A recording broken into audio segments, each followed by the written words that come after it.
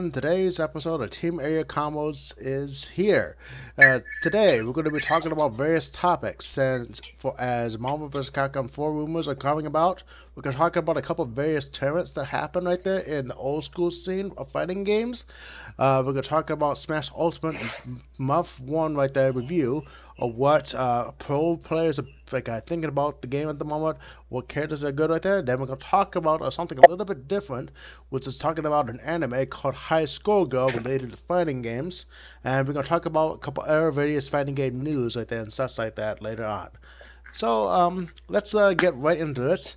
We're going to talk about uh, Marvel's Capcom 4 rumors. Uh, basically, there's a couple of rumors or speculation going around right now that uh, that we might get a Marvel's Capcom 4 reveal or something like that in in April.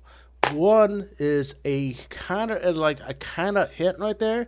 People are more expecting that it's just related to um, a, a, new uh, Fantastic Four announcement right there related to the games, which is that uh, the the Marvel Games Twitter, which is basically the official Marvel Games Twitter account that basically uh, announces various Marvel franchise uh, games like like Marvel Ultimate Alliance 3, which got announced like a, a, while back, a little while back. Last month, yeah. Yeah, last month or so. That basically is uh, announcing or that they changed the logo to uh, basically having Marvel games there. They changed the A in Marvel to a 4.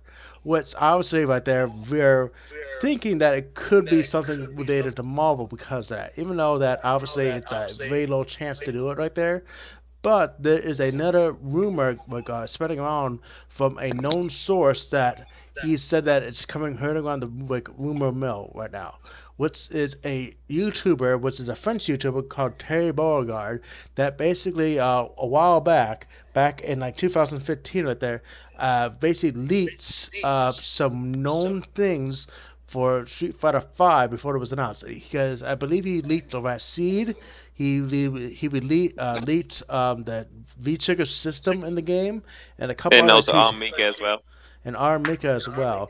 That he so he has legitimate, real possibilities of being a real legit like like he has a real source in this. So basically, he has a, legitimate claim of actually saying something like that, where he, uh, in a YouTube video, says that there's leaks going on right now that um, there is a possibility of a Marvel vs. Capcom 4 announcement sometime in April. He said this said it in a YouTube video that um like back back in um back in December that he uh like like he uh, was talking about that it's on French but I was able to use Google Translate into that, which I'm going to try to copy and paste the freaking text right here, so hopefully you can see it properly in this. Okay. Well, like you know, in the video, in the video screen right here. Basically, mm-hmm. this is all the French context right here that I got from the video right here, and you can I can show you the context. This is the same text right in the video, so I am not trying to bullshit uh, people right here. Basically, this is what's starting on right here. This is all he says. X-Men, all there is, plenty questions that we're trying to ask ourselves. And then around here, that, um, let's see. Really, a comes out, exactly, exact example at some point. People who told me it's not. Spaz or no name of the spell exit. Which obviously, that's, you know, this is a Google Translate right there. So obviously the translation is going to be off of it because, you know, it's Google Translate. But basically, he's saying that right here, there's a possibility of a Marvel 4 thing coming sometime in April. For people who told me that it's like it could be right there. But obviously, there's not exact translation right here. But um, let me see if we can try to bring up the video too, real quick, so I can show you the things real quick. So, mm-hmm. where's, where's, the link to the video? Uh, uh, I'm trying to like, find the YouTube thing right here. Oh, there it is. Okay, so let me uh, let me load her up real quick.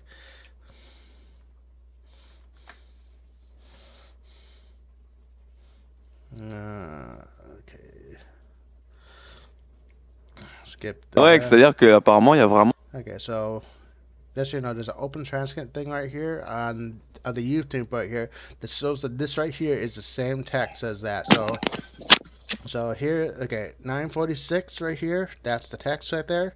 and then go down right there 946 same text right there so it's the same text that is coming up right here so here's the text right there that he uh, said right here Moi, un Marvel 4 qui sort. euh, Ah, moi aussi, j'ai entendu. Euh, entre- j'ai entendu exactement la même chose. yeah and the same text is right here where he said it obviously right there Mhm. it's still in french so it's hard hard to make that sure right there so we need someone that actually can translate french properly to actually tell what it is so Uh, um, did you did you send it yet? Oh, like oh, the video right there. I uh, I was so, showing the people like for it right there. So um, Oh, okay. so there's a YouTube video. Um, the, there's a YouTube video there, and then obviously the translated text right here. Uh, I can show you how to actually like show up the transcript too, real quick, so you know. Mhm. Okay, okay. Looks like I Yeah, can. yeah, guys. Yeah, yeah, guys. What do you think about this like rumor at the moment?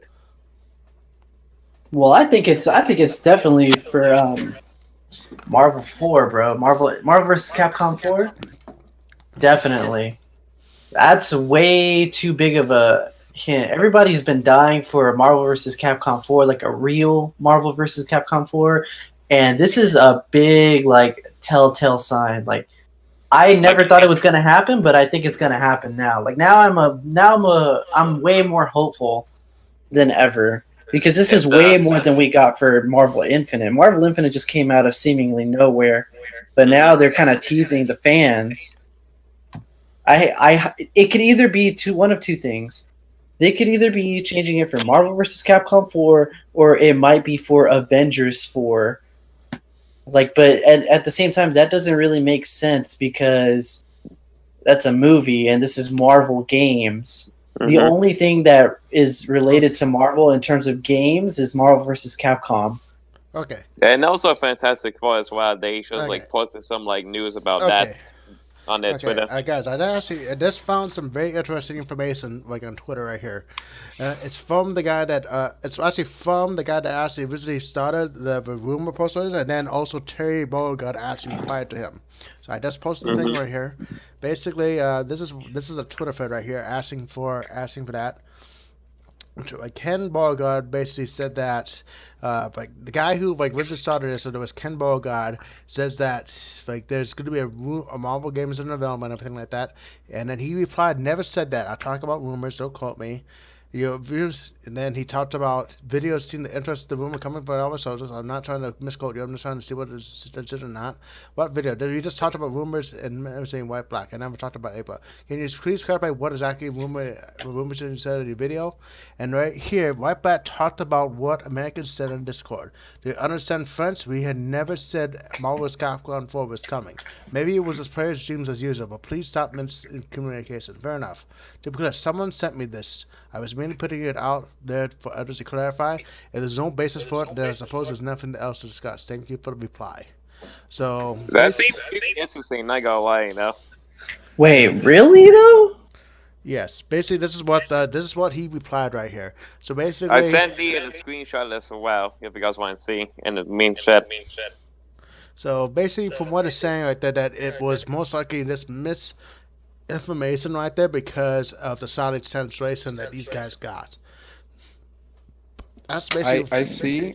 And um, yeah, I heard that it was a mistranslation, but even if that source is not like saying something, I think the the change in the Marvel games to four could only hint about two things really. It's either a Marvel versus Capcom game or a game surrounding the Fantastic Four because let's not forget that they uh, just recovered that IP along with the X-Men and Mhm. the director of the MCU has already stated that we will be seeing all the mutants, and that includes probably the Fantastic Four as well. So it's either gonna be a an Fantastic Four game or a Marvel versus Capcom game, probably because those are their biggest IPs uh, that would have a sequel that would be four if we do not count Infinite. Because, for example, Marvel Ultimate Alliance, uh, they would have to release three, I think, or if they release like Contest of Champions, they would have to release two. So the four could only mean like a Fantastic Four related game or a Marvel versus Capcom game. So let's see what they have to say and what they show us because there's nothing else we can really do. But Oh, let's yeah. hope it's a Marvel versus Capcom game. Yeah. If the if the, if the rumors are like false and whatnot, it seems kind of like too obvious that uh, they're like teasing something this year. I feel like I feel like we might get like a Marvel fall sometime, you know. Yeah. Well, after reading these screenshots and this dude replying, like, I'm not gonna, I'm, I'm not gonna lie, I'm kind of disappointed. Like, the he basically just derailed any hope that people had about Marvel vs. Capcom 4. I mean, we it could still be one of those things where they're kind of like, oh crap, we need to like, you know, kind of make like tricking us, but they're really gonna do it. But at the same time, like that's a that's a stretch. Well, And like he said, it could be Fantastic Four, which I mean, they just got that property back, and for them to do something with it so fast, kind of it's kind of surprising to me if that's the case, you know? Yeah. As well, Mhm. it's, but for um, Ter- Terry Bogard right there, he's trying to like, make sure that he's not spreading misinformation, even though he actually did misspread information right there. So it makes sense right there that he want like he wanted to freaking like get the trails back on with what he said right there because obviously if he's like if he like people thought that he was saying that Marvel was coming right there and he actually didn't say that right there he didn't want to freaking get a lot of people freaking sitting on him saying that what the hell what the fuck were you saying about that he was saying that he'd never said anything about that it was just various rumors that they were talking about in this thing right there then it's just I definitely like definitely just see why people like want to actually do that, but he's just covering his own ass because he doesn't want to freaking give false hope when he didn't like have like he didn't have anything to present to actually uh, get no like give people hope there. Mm-hmm. It's So- uh, it's mostly like it's mostly like misinformation. Unfortunately, you know, it's happens. You know. Yeah, so it makes sense that Terry Bogard right there, obviously right there, he does smite, smite, smite it down, but it's better to smite it down right there, and then freaking uh, like uh, give people false hope right there, and that's just like something that like people need to get false hope for, but it's uh obviously people want to get like want to play Marvel right- right now, you know, like want to get a new Marvel game, but obviously he just like he's like just telling the truth that he did not freaking specify anything about Marvel at all because you know that's what he said. Yeah, I guess that all we can really do is wait and see because people in the industry are not gonna spoil it if it's something this big, and people Mhm. outside the industry have no way of knowing. So, I guess let's just see what they do. They have to make an announcement soon if they change their logo like that. Mm-hmm. Yeah. Let's uh, let's uh, wait until like let's uh, wait for like the next like couple months of this year to, to see what's going on with uh, Marvel Coin, You know.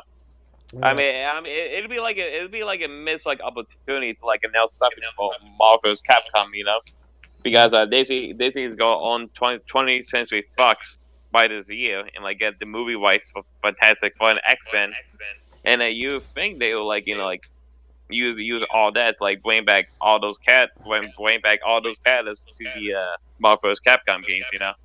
well, hmm hmm And Yeah. also, and also, and also, I would like to see like a uh, legacy collection of uh, all the previous like Marvel's Capcom games into like one. You know, hmm it'd be nice. That would be Well, nice. It would be Well, nice. I mean, besides Ultimate Marvel because that's that's all that's already like uh, we we released already. So we will see what happens. You know. Yeah, I guess we just gotta wait. Yeah, Mhm. def- definitely. Definitely, definitely we can uh, do about it. Well, let's uh, go on right here from like from the sad Marvel news now to some good Marvel news, which is like a uh, tournament that happened that Yipes hosted with the was was Battle of the Strongest Two, which is a Marvel vs. Capcom 2 tournament, which basically had not it's like it's not like a tournament right there, but it was high stakes money masses between like well-known players that they're fighting in Marvel's Capcom 2, which is basically one of the hypest games like that basically like uh started the freaking craze of like how people love Marvel's Capcom games because of this game right here. So, Mar- yeah, so basically, Battle of the Stones right there is basically Marvel vs. Capcom 2 right there. As you know, Marvel vs. Capcom 2 is one of the largest roster fighting games out there with 56 various stri- fight fighters in there. But this game right there is heavily unbalanced. I mean, like it's like some characters are like broken as hell, and some characters have infinites, and they're not top tier. And in a game that basically like how revolves like touching right there is like very good. And if you lose a character in this game with it, it's so hard to come back because it's there's no comeback mechanics. So that means you have to get the hit to actually come back. And there's and basically it requires you to know how to block right there and know like what button to press and everything.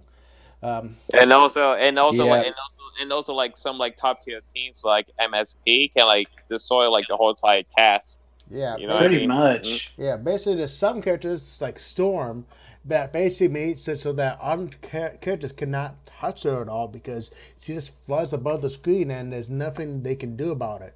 And in this game, there's also certain assists that are so amazing because of the anti-air abilities and with the top tier being anti like characters that fly around the air, you need to have the anti-air abilities to actually have a chance to actually do it. Mhm. Because you need have the have the ability to freaking stop their Velocis action right there and have abilities to freaking stop them from flying away all the time. What's basically Yeah. um, in, in this game right there, there is a certified top four t- uh, top four uh, team. Which well not top four characters. Was it Sentinel, Magneto, Storm, and there was uh, one more that was considered Cable? Cable. Cable. Uh, what's this? I'm, I thought it was a different cable, character. Uh, as I said, but it's basically like at least those top three. But Sentinel, Storm, Magneto, right there are the top three characters in the game. Meaning like those characters have a clear advantage over everyone else in the game. That basically that you need to have at least one or two of those characters to have a chance at high level if you actually want a chance. What's basically the best character in the game is Sentinel, and that's why you will always see Sentinel on high level teams because Sentinel is basically you need to have Sentinel to have a chance of winning. He's a he's a bigger body, eh, but he's like ridiculous, like crazy good in that game. You know. Yep. So the thing that makes Marvel vs. Capcom 2 a really hype game to watch, besides all of these things where the top tier is so good that the low tier is not even worth using, is that every team composition in this game really matters. For example, uh, Magneto Storm Psylocke maybe has a very good uh, uh, matchup against a Sentinel team, but against other types of teams like um, let's say Chris Matrix's team, they're limited and constricted in movement due to Cyclops assist, right? So it's a lot about matchups. And then there's a lot of teams that function similarly. Uh, let's say like Josh three Josh 360's team with Iron Man is very heavily focused on infinites and guard breaks, right? So if he kills a character, it's almost guaranteed that he's gonna win the game because he's gonna Definitely. you and then infinite you to death. So the way you fight that matchup is very different from the way you fight other matchups. So even if there's like maybe five or six viable point characters, there's so many types of team combinations that anything really can happen, and you really need a lot of matchup knowledge for each of them. Because then there's also like some weird characters that if you don't know how to fight, you're gonna get fucked up, like Spiral or Blackheart, that have like really very heavy spamming games, and that makes them worth it. Or even Team Clockwork with uh, Strider, Doom, Sentinel. Mm-hmm. Uh, it it's it really makes them viable because of the team composition. In this game, is I feel like the teams are the most important thing for the game. That's why losing a character fucks you up so bad because uh, you really Yeah. need the whole team composition to make it work in the neutral and for the combos. Yeah. Definitely. That's why I couldn't get into Marvel 2, man. It was like way to like I mean, when I was getting into Marvel, it was way past Marvel 2's prime. And when I tried playing it, that's exactly what happened, dude. People would body me with Storm, Sentinel, and Magneto, and I'm like, what the heck do I do? Like I lose one character and then it's just like a downhill snowball, you know? Yeah. Yeah, Yeah, yeah. You need to you need to like know like all the the mashups, etc. And yep, you have to have mashups. You have to have movements too, and you have to like I know when to actually prop, pro- properly freaking go in right there and properly like know when you're opponent can use assists properly to actually save them right there, or know how to convert off random hits. Because in this game right there, um, like there's certain characters that can revert off like random hits right there into very big damage, or or basically some characters that cannot like do mu- really much about it. And uh, but there's some characters that don't rely off random hits. Some of them rely off, rely off um, not gimmicks right there, but their tool set like Strider. Strider basically revolves around having meter, which will cause Ouroboros like that, which basically allows him to lock your opponent down with orbs, so that they have to freaking block right there and they take a lot of chip damage. And uh, and Doom Assist as well. Yeah, and Doom, that and team Doom, is like and amazing. Doom Assist right there.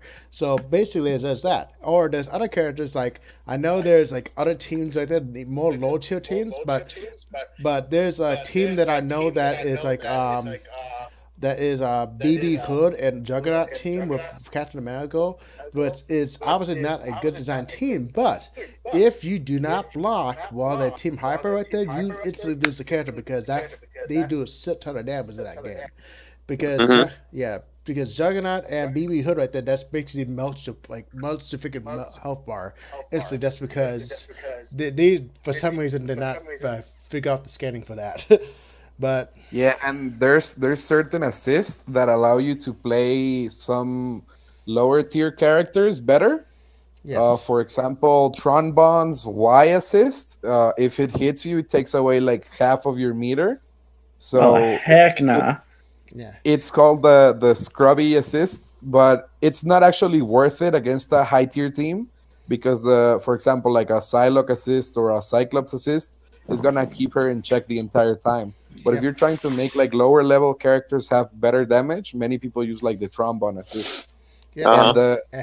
the the thing about this game is that your neutral has to be so on point so that you get the first kit and it's so unforgiving and the execution is so high level that it's Dude, really fast paced and is really hard to get into. As someone who grew up with an arcade culture of Marvel vs. Capcom 2, I saw all the broken stuff that you can see. And very uh, funnily, I think the best player where I live, his name is uh, Magus Old, and he used to be the guy that took care of the arcade, but he was also really good at playing. And he plays Hulk, Spider Man, Hayato. Oh and- wait. That- oh, that is, is- is that that guy? sounds- Oh shit. That, is that guy has like fucking team. compilations of YouTube of just owning Yeah. Ramnito and players like oh, that. I remember that guy. Yeah, yeah. I know who you're talking about now. I see his gameplay team. That's a weird. Yeah, ass- you. I'll find you the link to him doing the Hulk Infinite that he invented. It's pretty fun. But he's well, for example, he's played Neo and other good players when they came to Mexico. Mhm. And I feel I I don't know if he beat them or not, but I know he did pretty well, at least in the neutral. So with very hard work, you can make low tier work, but it's just not worth it if you're trying to pick the game up. yeah. Mhm. Yeah, definitely. Yeah, basically, basically, it's basically if you want to actually have a chance of winning right there, it's picking two little cute characters or picking an ultra character, Sentinel, and like Commando, and that's basically like the best way you can actually have a chance of winning in this game right there. If you want to stick with low tier character, Yeah, Sentinel in this game is ridiculously retarded. Like literally, you just have to fly up and just like do that kick that he does in the air, kick, kick, kick, unfly into super, and then kick, kick, kick. It's just dumb, man. Like that's why I was just like, I this is way too much for me, man. And that's and then Marvel Three came out, and I was like, all right, finally, like I can play a Marvel game. but Marvel Two is like, heck nah. Yeah. So yeah, basically Marvel vs. Capcom 2 right there, uh, back in the day right is known to actually have a very, very prominent rule with some characters, uh, some players. I mean, not characters. Which basically had Justin Wong, Sanford, and one other guy basically be the top. Yipes. Oh yeah, yes. I see. Yeah, just I should have fucking realized that.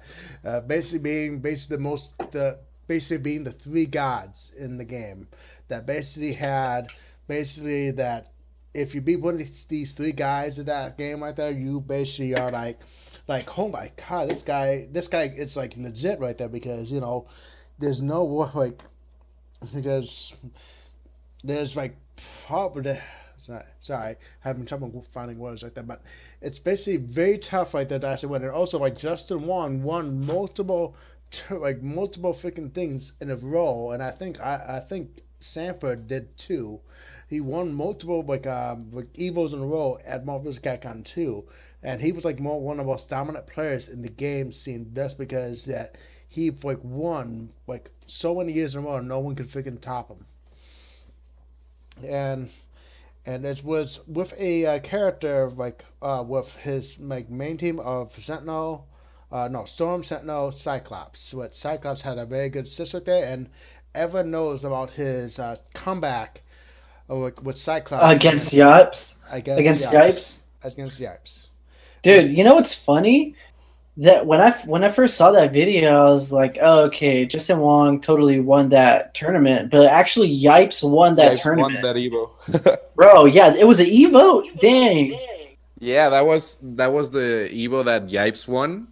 And it was so like I would get the old VODs with like two years of delay over here in Mexico before YouTube existed. But watching those three guys play was definitely on another level. But it's so incredible because everybody else was so good too. You had players like Smooth Viper, like Clockwork, like Duc Do. Uh, Just like- 360. yeah, like just 360, 360, I think he came a little bit later. I'm not sure. I was But, like uh, 2004. He told me. Yeah. Xecutioner as well. Like very, very high level players. And the fact that every tournament was disputed between or Fnatic 2, for example. But the fact that they they were always at the top really says something about how good they were. Um because to me that's one of the most impressive feats to be so consistent in a game like Marvel 2. And it really made me happy to see that Yipes organized Battle of the Strongest too, along with uh Sabin, I think. And I was just that about they to ask about that. yeah, that they organized it and they did a Matcherino crowdfunding and they got over eight thousand dollars for the round robin. Are you So- serious? Yeah, man. dude, that It's that's crazy. man. And it- it really motivated me as a Marvel 3 lover, for example, to see Yipes do this. I said I s- thought like why am I playing games that I don't like as much as the game I really like if they can do this, you know? If they can do this, I can do this for my game and watching them just have fun at a house tournament and just play like the old times it, it made me feel like we should really just forget about the esports thing and we can make it work through other ways like they got creative with the with the Matcherino thing and got Mhm. so much money like what's really stopping the FGC from um from doing the same thing for other games no? If, if, if we enjoy Marvel 3 why don't we play Marvel 3 or if we enjoy like uh arcana Marvel- heart like why not play that? Or Marvel infinite or whatever game we really enjoy like why should we conform to the standards of esports when esports clearly doesn't care? And the amount of money gotten over there i think if it's through a crowdfunding method it could eventually work out for the big tournaments so It can, that dude. was is so crazy, bro. And that's cool. Yeah, and that is true, bro. Uh, Marvel Infinite is still going strong. Uh, they've been doing uh, Jako himself. He's been hosting a lot of online tournaments with big pots. And uh, there's another uh, big tournament hosted by the guys at uh, Ralston Arcade. I see you, hater. Donkon, They're also- yeah. hater. Mhm. Donkon, Yeah, he's also putting out a those crowd-funded tournament too with a big pot, man. Like we're we're out here grinding, and that's dude. Big props to Yipes for that's crazy, dude. Eight thousand dollars, like that's way bigger than a lot of uh a lot of tournaments these days, man. That's I know, man. dude. I want, yeah, shout out to like Yipes and like Team Spooky for doing this. You know, it's like pretty like incredible how like how they like manage to like get like this much like money from the Matcherino. It's like yeah for- to for, me a- it's like it's like incredible that they they did that and they did it for the game they loved you know so love to, funny, you know. Mhm. yeah to me that about. that was super inspirational like that's what i can take away from battle of the strongest and also the very hype matches that we saw we saw josh 360 come back from a very high deficit against uh, Xecutioner i believe we saw chris matrix step out of commentating and get back into playing doing well We saw Smooth Viper play like a boss and calling out Neo for a money match. Oh yeah, the pop off. That was, that that pop off was like godlike, man. Yeah. That's an eight thousand dollar pop off, dog. Dude, that's crazy, bro. When somebody came out with eight grand, bro, that's that's literally here in Texas. That's eight months rent. That's like literally like your whole year's rent in one. Just crowdfunding, dude. That's wild, or like half a day in New York rent. right? yeah. Dude, Yeah, still but- though, that's a big chunk of change, dude. That's definitely That- not no slouch money. That's a bag. yeah definitely so that's that's what i take away from battle of the strongest the obviously the high level play and watching a game that's so complicated and, and so skilled but what it meant for the marvel 2 community and what it meant for the rest of the communities of games that are not in like a pro tour or recent games it, it means that you can still do what you like bro like smooth viper clearly grind for that tournament and you could see and having eight thousand dollars for playing the game you love the most, I think it really says a lot. So, what's really stopping other games from doing the same thing? If if you if you enjoy it, there's a very high chance other people enjoy it. Like who doesn't love Marvel Three? Uh, the people in the Infinite community obviously love Infinite. So it's just a thing of organization and knowing how to sell your game on on social media. But it, there's nothing really stopping the FGC from growing in that way. It's a really interesting alternative to the whole esports movement. Let's all get sponsors. Let's all do this. Why not I'm not down with that, man. Try to have I'm fun with with others. Definitely, dude. I, I am not into esports at all, man. A lot of these dudes in esports, especially the organizations themselves, man, they're kind of fugazi, bro. Like smoke and mirrors type of thing, dude. Like a, a lot of people who end up getting sponsored, they they're they end up not liking most some most of it most of the time, and um, you know they just act very shady and very weird, and you know it's always catered to where, what games pop in. And sometimes those games in reality they just kind of suck man. And they're kind of like i so for example i asked one i asked the sponsored player i was like because he sponsored for i think he was sponsored for like a couple different games but Uh, He what also, like- oh, oh, i'm gonna get to that i'm gonna get to that Okay. I asked him. I was like, uh, he also likes to play Infinite, so that so he's an Infinite player also, but he's sponsored for other games because you know they're not going to give a sponsor out for Infinite since it's not really like that mainstream. But uh, I was like, hey, bro, so since you're sponsored, like, let's say one day you want to go to a tournament and like you just say, oh, I don't feel like playing Dragon Ball Z or Soul Calibur. I just want to play Infinite. Like can you do that? Can you just say like i, I don't want to enter any of these other tournaments. I just want to enter the one game that i actually want to play that one day that i actually like more? He's like nah man. Like i have to play these games. Like uh, that's what being sponsored means. Like you have to play it. Like you have to go to these tournaments and you have to play these games. Like i was like man that's kind of whack bro like it, at the end of the day like me personally i'm just a marvel player like that's all i want to play and I might enter like something else just for fun, but like that's the only game I really want to play. And like if I was sponsored or something, like you have to you sign a contract saying like this is what you're gonna play regardless. Like even if it's not fun, even if you're having a a terrible time with it, like you're you're locked into playing that game, and that just does not sound cool to me, man. Like, you know what I Yeah. mean? the the esports is really weird because uh, like as a sponsored player i know that there's very different approaches of what a sponsorship is or what it means but there's Right. always like this pressure to perform and i feel like that same pressure is what makes players crack and eventually start underperforming like we've seen countless players do really well and then get sponsored and then stop doing really well.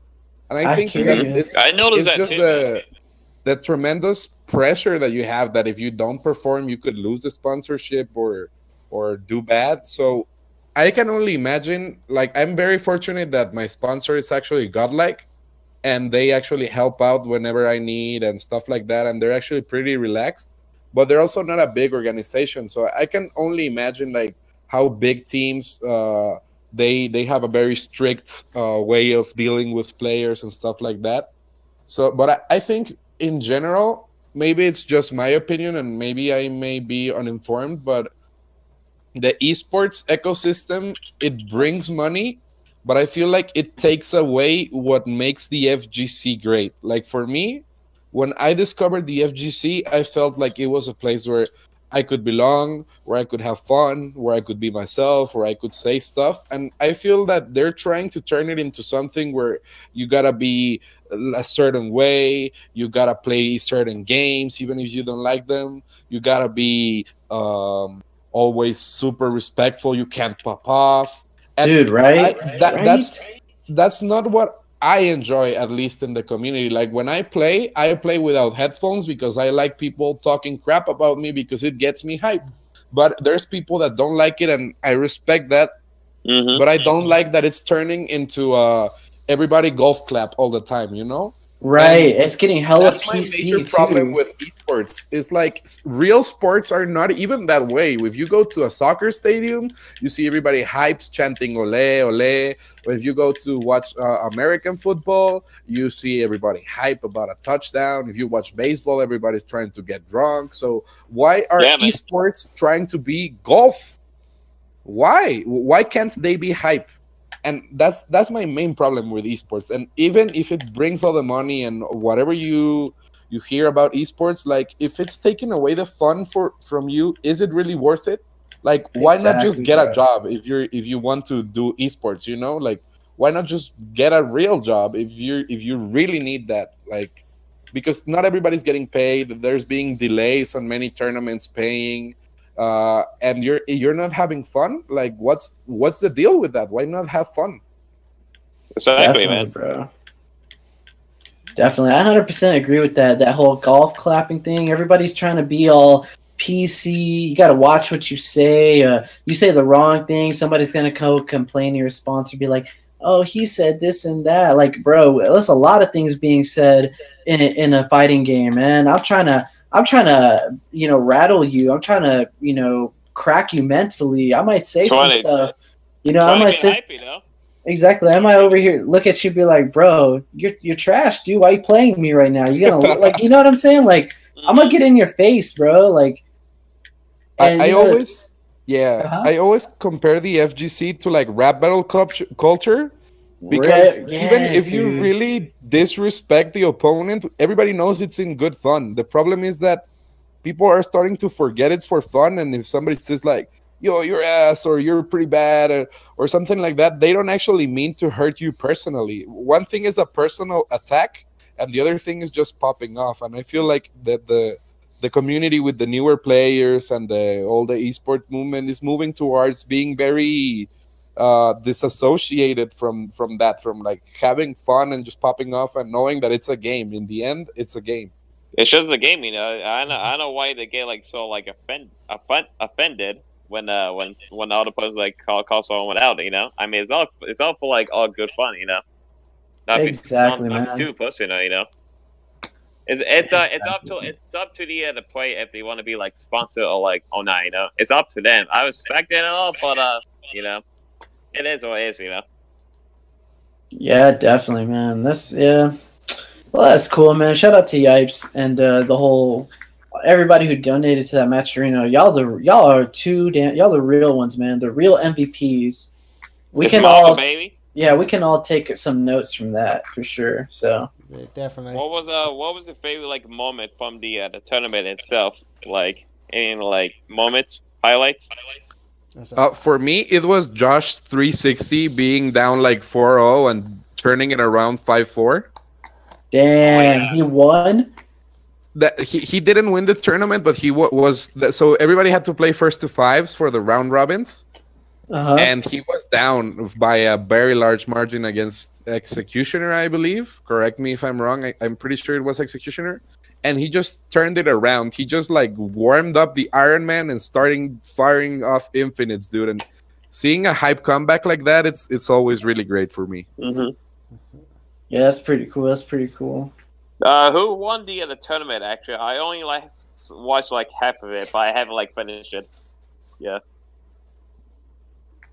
That's how it's Yeah, who won? I don't know. Uh, I Oh, the the, the tournament, Smooth uh, Smooth Viper won. Okay. J- with Jay for Okay, that's pretty coming man. seconds. Yeah, it was Smooth Viper one, Josh 360 second, and Chris Matrix third. hmm That's pretty sick, man. You know, shout That out to uh, pretty sick. Mike for uh, grinding Mo too, man. Big, Mhm. Yeah, big props to definitely always been a threat. And after winning, he called out Neo like, "When are we playing?" That that's that's a pretty hype thing to do because Mhm. they were both known for their money matches. Mhm. Mhm. Yeah, so definitely I did like uh, watch the right there, but definitely is very a very uh high, high tournament right right now. Um, so um, let's uh go talk about um, another tournament that happened. Oh what God, about a week ago or so, which was um the Cooperation Cup, which is a Japanese tournament for Third Strike. Third Strike is obviously the third installment of the third fighting of third Street Fighting game, uh, uh, Street Fighter 3 Third Strike, which there was like there was there was Street Fighter 3 New Generation, then Second Impact, then Third Strike. Third Strike right there is a was back in the day considered a black sheep of the fighting game community because it was not fun. Then something happened which made this game one of the hypest fucking games to fucking watch. Uh, Street Fighter Five, uh, Street Fighter uh, Three, right there, First Strike, there is a a unique game because of various things. It has various characters there and very unique things. It has a the parry system, which allows you to freaking parry the attack by hitting forward uh, or down at the same frame when the opponent hits a button right there and you're in the hitbox of which allows you to pay the attack and actually basically go go back and actually uh, have an action before that. And basically, it's a uh, mind game type thing where if you're gonna pay right there, and also if you can block stuff right there, which can save your life. Um, first, this uh, tournament right here is a cooperation cup. is basically a 5v5 team tournament. Which, if you know what a team tournament is, it's basically uh, two teams that fight, fight it out like and try to whip, try to beat each other with that. And in first strike, it's uh, basically a, a, a one a one set, meaning like not one match, like there was basically a two out of three like a round. That basically, if you win right there, you like, go on, you beat the tournament, and then the next player comes up right there and fights the next one. Whoever wins the most matches out of it right there, and it's actually a pretty interesting tournament because it's not like a, a first strike tournament where um, basically it's one v one right there. It's basically you, your entire team has to freaking like uh, win right there. I mean they have to win as many matches as possible to actually go on. What's but First Strike, it's one of one of the hypest freaking fighting games out there. If you ever would watch that right there, you probably known about the probably known about the moment, what's happened in Third Strike against Justin Wong what is one of the hypest freaking things you actually could do, and probably one of the most well-known fighting game moments of all time. Y- yeah, Talking about the definitely. Daigo moment. Yeah, the the Daigo moment was in Third Strike.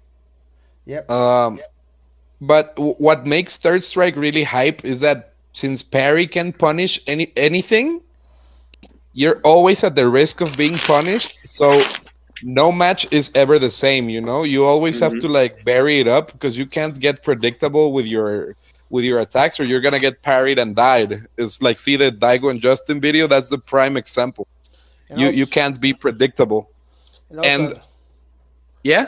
sorry, and also with parries, like that, there's actually a risk for parries like that because your opponent can read your parry and punish it with a super that has a visibility on it right there to actually punish your parry. So there's you know a um, like a high risk, high reward type of thing with parries sometimes.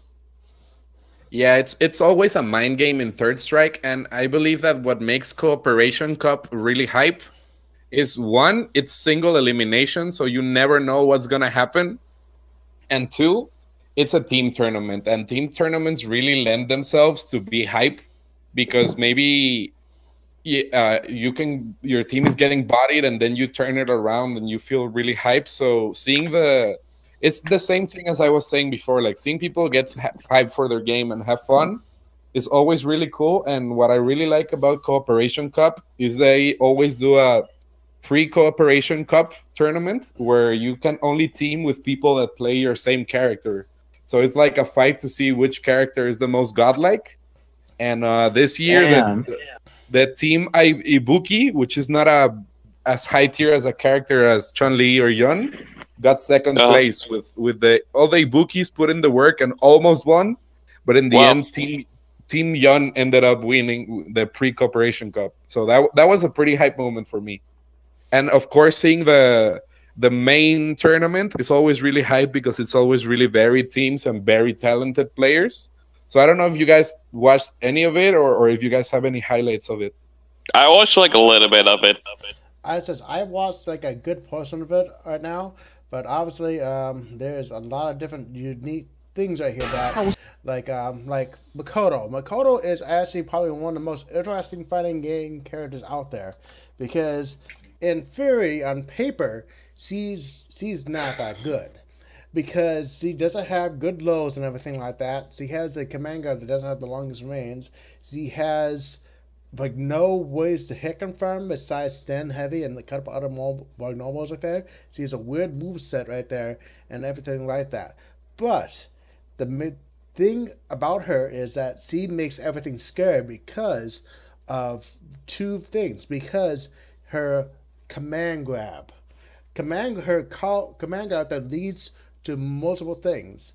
Well, one is basically it puts you in a like situation that you have to be careful if she's going to command grab again right there, or do something that to hit you in the air or just throw you, or if she has full a, a bar a meter using a certain critical art, uh, you know, uh, super art, she can actually touch a death you if she does the proper combo for it, which is also a really hard combo to do.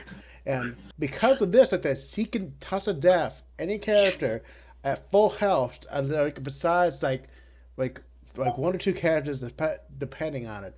Which that means that she can literally freaking make you not able to play the game if she command grabs you.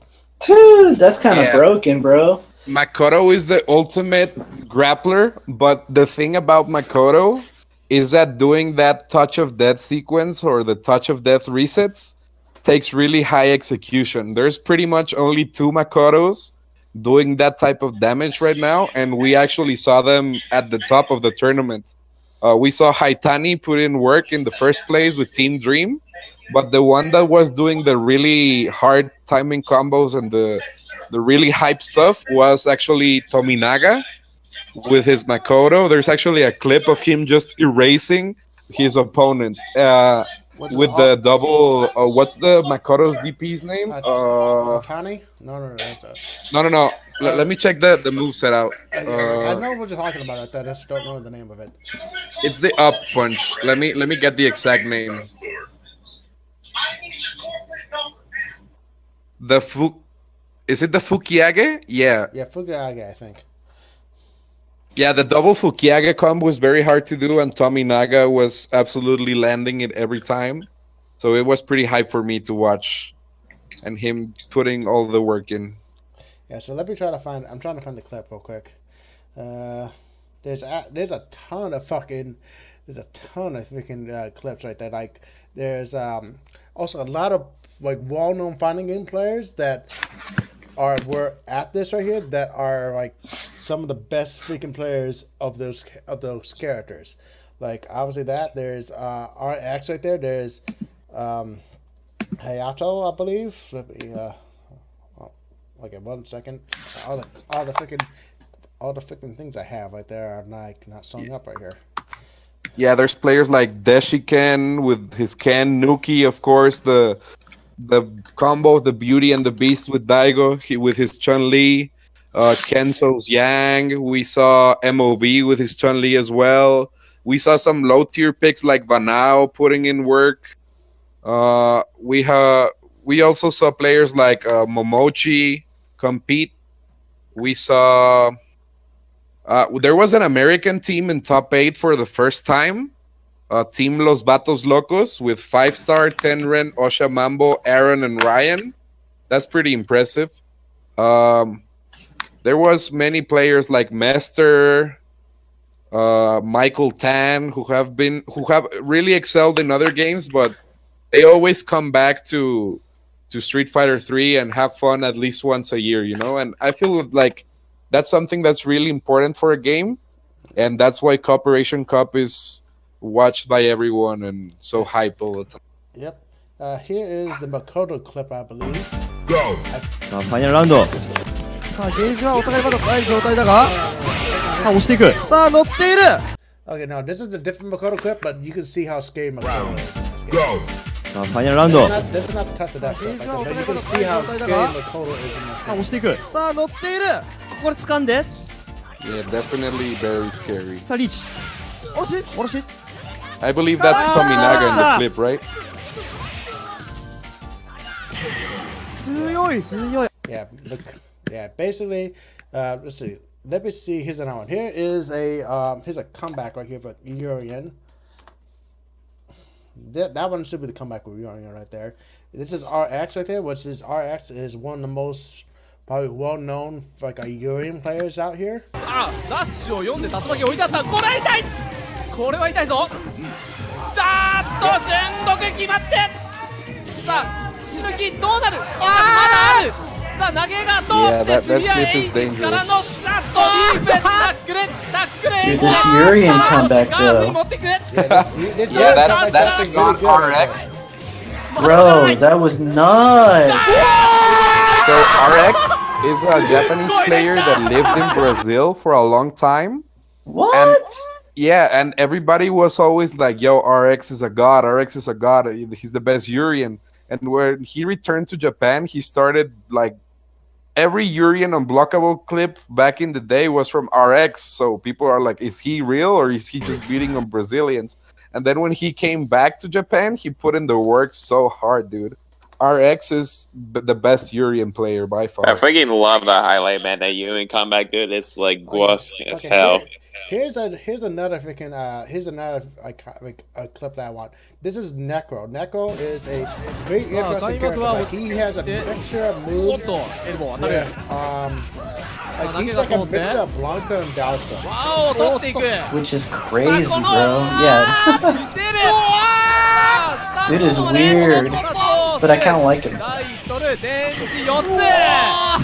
That's how you know that combo that he did in this clip right here it's a very fucking hard combo to do. It's like a one frame link that he did.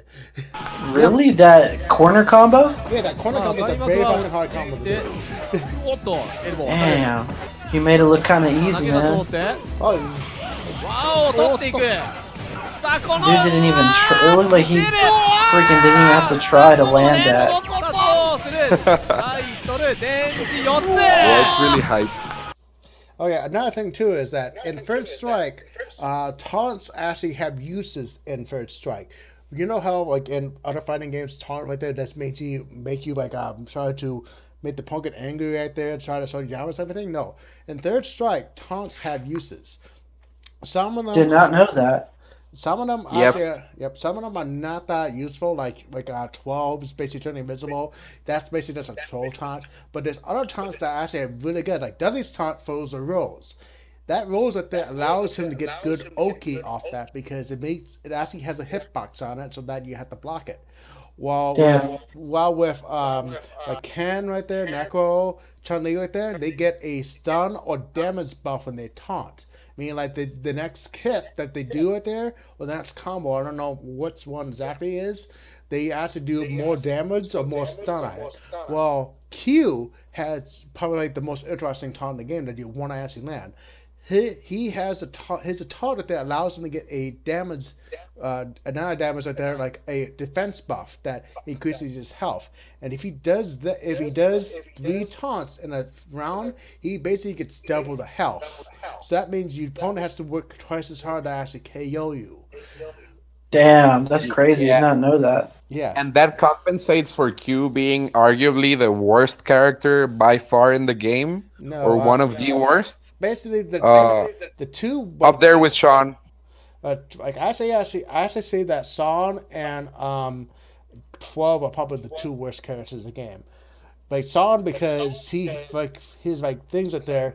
He got nerfed severely from Second Impact because he was like top tier in second impact, and he got freaking like nerfed to hell. Like he his DP got changed right there, like his like his critical arts got nerfed to hell and everything like that. And twelve right there basically is just an annoying character, but he does city fucking damage. That basically, and also he fucking cannot. He his ba- basically most of the time his best punish from a parry is is crossing light kick. That's his best. That's his best damage. Like for best damage, uh, like uh, punish for uh, parry right there. and uh, and uh, no, and not that much combos wise with the character as well. Yeah, yeah. Basically, twelve right there is like a really bad thing. That's because he's not well designed. But Q obviously is not a good character, but he has like interesting tools and everything like that. Like he has weird normals and everything like that. But he has, you know, that right there. He has some very good critical arts for that. He has like uh, weird things, but he is, but he fucking gets mauled by certain characters. Like Makoto versus Q is like the worst fucking matchup in the game. or Damn. Yun or Chun Li or those guys. Yeah. And um, but you know what's really interesting about Q, and this is always a good story about Third Strike. There used to be a, a there still is, but he's in prison right now. Play a player named Kuroda, yeah. who was so incredibly good that he could beat players like MOB or other really, really, really strong players with really strong characters like Yun and Chun Li with Q. He was so good that he would just pick low tier characters just to fight them, you know? So Well, that's damn. actually pretty crazy. Kuroda is probably considered the best third strike player of all time, but he got into some scandals with minors, R. Kelly style, so he's in prison oh, right now. Oh, well, that, that's been Damn. unfortunate, man. Yeah. Yeah, but I always try to separate the player's skill from the person, and as a player, Kuroda is by far the best third strike player. As a person, he might not be the greatest person. yeah. Well, yeah, for sure. You can't you can't knock the man's skill. Yeah, You know what I definitely. mean? So if you guys are looking into third strike and to trying to get into it, definitely check out some Kuroda. Okay. Yeah. This this video, I believe this video has one of the best fucking combats I ever seen from Kuroda. It's uh it's against a young player, so let me find. Let me...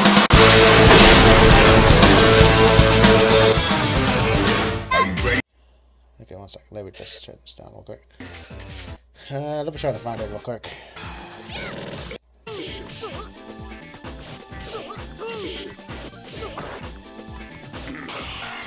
Okay, okay, okay.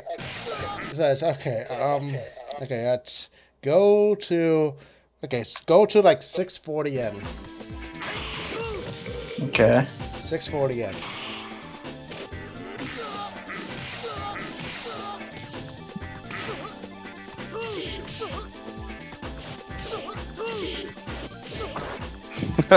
I had forgotten this comeback. Why is Kuroda so good?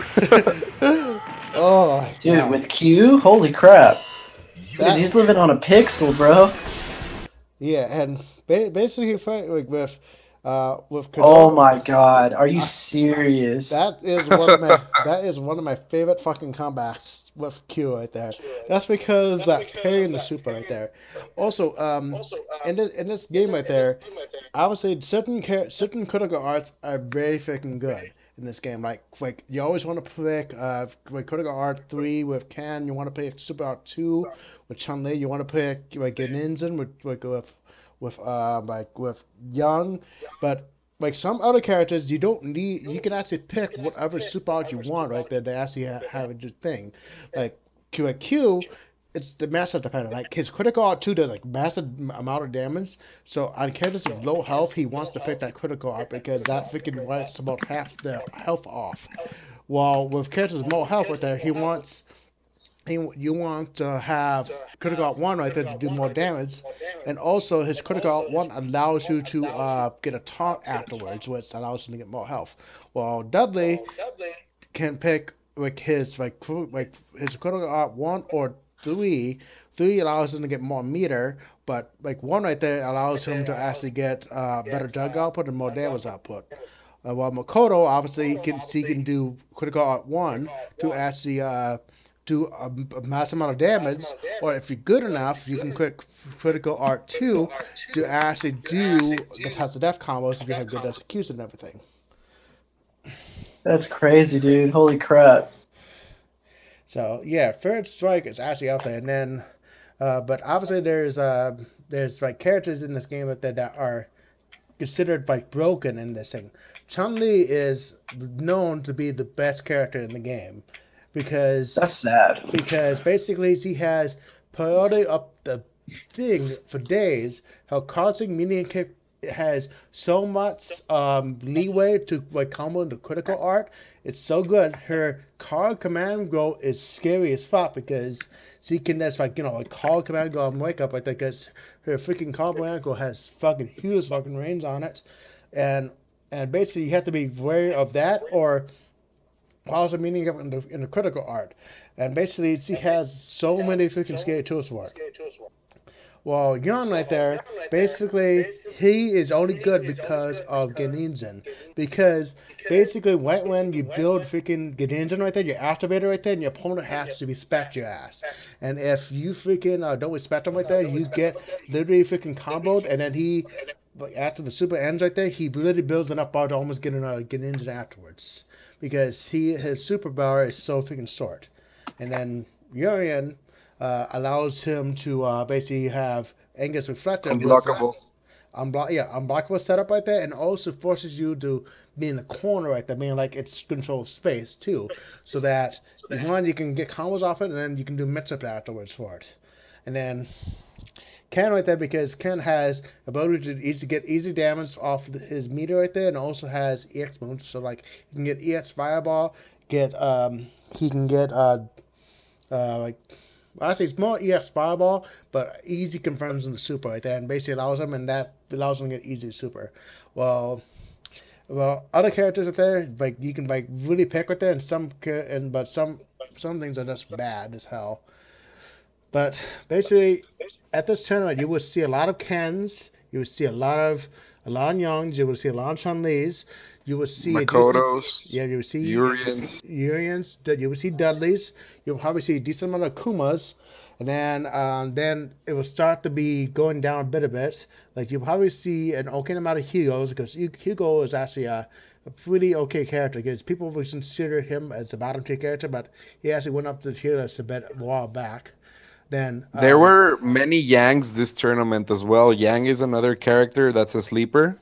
yeah, Leon- And yeah, and to me the greatest surprise was actually seeing the the Ibuki team almost win the pre-cooperation cup against the Yun team. So that was pretty hype. They de- defeated two Chun-Li teams and the Makoto teams. So it was actually pretty hype and Ibuki is a very uh, not as great character as the others, still pretty solid but definitely not in the same tier as those characters you were mentioning. Yep. Because if you also didn't know, Ibuki right there and uh she in second impact right there was considered probably the best character in the game besides like Akuma, which I think people might consider borderline broken in the game. Uh, I'm not 100% sure, but I know like one of the reasons why is because you cannot, he can freely get in no matter what you do because you cannot punish his dive kick at all. And even if you pay right there, it's like unpunishable or something like that. For no, I'm not 100% sure why people Akuma's banned right there, but Ibuki has tons of death combos for days in the game on certain characters, and he and see her critical is very fucking good. So obviously, like with the big Ibuki gets some big nerfs just because you know the bigger so that he can't freaking touch the death you like off of anything. But then they introduced Makoto right there, but you know her combo is very hard to do. yeah. Yeah. Says other characters I actually liked seeing in the thing was Hugo. Hugo is another fucking character I really like, really enjoyed seeing. Hugo is a very interesting character. Like you would never, never see him using his heavy normals at all. He uses either mediums or mediums or lights because his like he. The only there's only one normal you probably will see him right there, which is probably his standing heavy, depending on what he does. His uh, his crossing normal, uh, his crossing things like that are very good. But he has very interesting thing because he's very care, but very very care, very scary because he has a lot of help in the game. He has command grabs, which basically is very good. He has an anti-air command grab, which is not the best, but it still will grab you off that. He has a, like a level one super that does probably like sixty percent of your health bar if you uh, are able to get it, which is uh, Gigaton Press, I believe. And then he has some very good things. He also his also um his slaps right there are one of the scariest things about him because he, he can combo slaps together and basically he can like stun you almost with just doing basic slap combos. Wow. Yeah, yeah, but obviously Hugo, Hugo has you know very hard things because since he's a big character, I think he gets fuzzy guarded for days. He has you know trouble against certain characters that can fuzzy guard him, like uh, Necro, uh, not Necro, um, Oro, uh, obviously Chun Li right there, and a couple other characters have you know like well very like hard times, but that's because you know they're top and everything like that. Um, yeah, a lot. There's a lot of freaking good characters to actually watch in this game. One, First Strike is actually one of my favorite games to watch. That's because, one, because the parry system right there, you don't know what to expect right there, and also like, also like there is character variety in it. Like, because um, some people will actually play low tier just because they actually like low tier characters. Not obviously not like uh you like Sin and or twelve because those are like more troll picks, but all the other characters you actually will see at a decent level sometimes. Hmm. Yeah, I like Third Strike too, man. It's always interesting to watch. I never really got into it just because like the learning curve was too high for me personally. Yeah. But uh, it is a good game to watch for sure. Like those clips that you sent, man, those are kind of crazy. Yeah, but basically, but there's some amazing tech out there for various char- for various characters, and this game is fucking hype. It's like one. Of, Yeah, that's what happens when a game develops with time and is just mastered to such a degree that you get to see really hype stuff. Like for example, with ST, many people thought that T-Hawk was actually low tier, and then like 15 years later or something like that, they found an option select where he basically grabs you if you don't do anything. He DPs you if you jump, and he he normal grabs you if you try to normal grab his command grab. So T-Hawk went from being the lowest tier character in the game to one of the toppest tier characters in the game. yeah, And I feel like that's Wow. just the beautiful thing about Yeah. old games that never really got like the patch treatment. Uh, that you just had to adapt and you just had to come up with new things, and eventually uh, things get discovered and they change the way the meta works. So it's definitely really hyped to see games like Marvel 2 or Third Strike, where they're so developed that you you just have fun watching them and you just respect the skill and the dedication of the players. yeah, de- Yeah, for sure, dude. Holy crap. Def- definitely right there. That's why. That's why people like to see it right there because even though people hate Chun Li or seeing Kens or seeing Youngs right there, there are character loyalists that ask will so off new things. And with the Cooperation Cup right there, with having so much character variety right there, it makes it so that you're not going to see the same freaking three characters all over again. You will actually see. Which is good. That's Yeah. good. I like that. Yeah, so that's what that's why uh, I freaking love this love this thing, and I freaking like played it like that, and I love freaking seeing high level play. That's because like it's like in in this game right there, you have to freaking know when to do it right there, and the parry system is like the but the highest like highest rewarding thing you can do right there because if you can know when to pay at the right time right there, you will have the biggest freaking opportunity to actually do it. Because look what happened. Like I like like Daigo No was my freaking uh, inputting parry during that time was walking back and forth, and he inputted the right parry at the right time, and that hit, and the most iconic fighting game moment happened because of it. Dude, the most iconic. Yeah. No one will ever freaking forget that. Yeah, it's that's the most watched gaming um, clip of all time. It actually has a Guinness World Record. Yeah. Are you serious? Yeah, Dang, I did not know that. That's what's up, man. That is what's up. Big time. Big time, big time. Okay. Speaking of gaming, should we talk about um uh, high score girl, because that's definitely related to Street Fighter. Sure, let's uh, let's actually go to that next. We were going to go to Smash, but Smash uh, we can like definitely talk about Smash a little bit because it makes a good segue. Uh, basically, uh, High Score Girl is a like anime that was adapted from a manga back in the day, right there, which was a um, um, um, I think it was started in like 2016 or something like that. It's it Okay. stars basically uh, these two characters right there that basically uh, went, went to uh, went to uh, an arcade in Japan in the 1990s like that when it actually was starting to go like uh, go big, which basically uh, because of that uh, they got and they freaking like, basically became friends over the love of passions of video games. Uh, but what, what the main character is um, how Haruo. How do you Ha- Haruo. yeah, basically he is basically an average freaking uh like teenager, like you know, like middle school kid right there that basically doesn't like wine and sunny is right there. He loves to freaking play video games in his spare time. He wants to go to arcade right there. And then we have like Ono Akira that basically Yeah. is a a girl that basically is uh like like taught like is a very strict in a very strict household right there that basically is trying to get into the highest school classes right there that with very strict parents but she found in the time that she can play arcade right there and unwind and everything like that. And we're a favorite moment in Street Fighter 2 uh, where basically he was playing Guile and he- and she was playing Zangief. We played it out right there, and then basically what happened is after like this guy was playing a very total guy right there against her Zangief, the girl punches him in the face and they get banned from the arcade. because if, because she was getting very freaking sick of it and everything like that.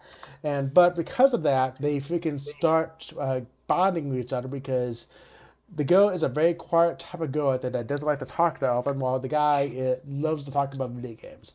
He loves to talk about video games and everything like that, and they freaking like uh, bond together over that because she likes video games too, even though she doesn't talk about them much.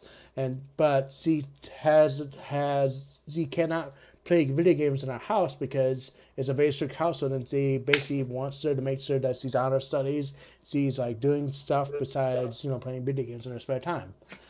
Definitely. Damn, I've I've never seen the anime, but I've heard so much good stuff about it, and now that I hear a little bit more about the plot, it gets me really excited because I feel like arcade culture is a thing that not many people live through, but the ones that did is like such Yo. a great memory, you know, and and such a fun time. And if this anime actually manages to relive what what you lived years ago, it's obviously such a, a good nostalgic trip and with with good nods and it makes you like so happy Dude, okay. I'm about to start gushing over this thing right now because I can tell you for from me watching and finishing the whole thing already, like this show is amazing, dude. Okay. I wasn't in arcade culture. Okay. I, I'm kind of I was uh too young for it. Like when I was being bored, our arcade culture was already like a thing, and it's definitely been a thing in Japan. So if you're watching this and you got to experience that, like in those old Japanese style arcades and stuff, uh, dude, this this show is really, re- you're really gonna love it. And um, one thing that I really like resonated with is like, okay, so he's the kid is in middle school, right? And he's like growing up, and he's like really into video games, and he goes to the arcade and stuff, playing Street Fighter, like every like okay, it literally like goes through like a whole like chronological like step by step of the evolution of games because it's not only just like uh 2D fighters like there there's uh references to 3D fighters like and it gives you like a really good history of like this the the evolution of the video games like Yeah. it goes from the 2D fighters into the evolution of the 3D fighters and then it also goes into like home consoles and like the evolution of home consoles from like all these retro classic like uh, the NES, uh, the PlayStation, the Dreamcast, the Sega's like it, sh- it goes step by step like through all of those like periods of time. Oh yeah. And I remember, like- something real quick. Let me mention something Yeah. real quick. Uh, basically, also this game does not do the freaking ploy of faking games. No, they actually reference real titles from all these things. They don't reference any like fake games. They reference real titles and use real footage from games, and they also uh, have people recording them from the real footage right there and actually uh, doing real type of like gameplay to like match the scene right there. That's Yes, exactly.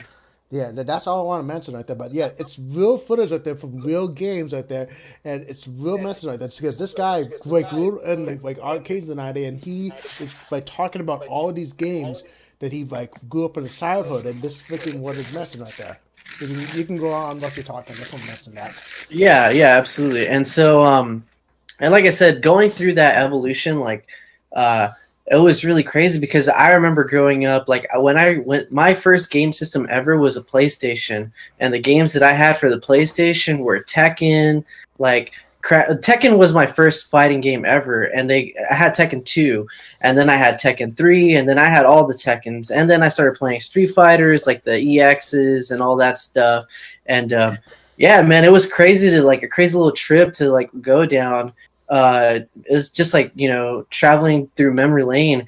And another cool thing is like when I first moved to Austin, I actually visited like a retro style old Japanese arcade for the first time, and I was kind of like blown away. Like the whole like you know you can play on one cabinet, and like on the other side is your opponent playing on the other cabinet, and like it's a lot of fun, man.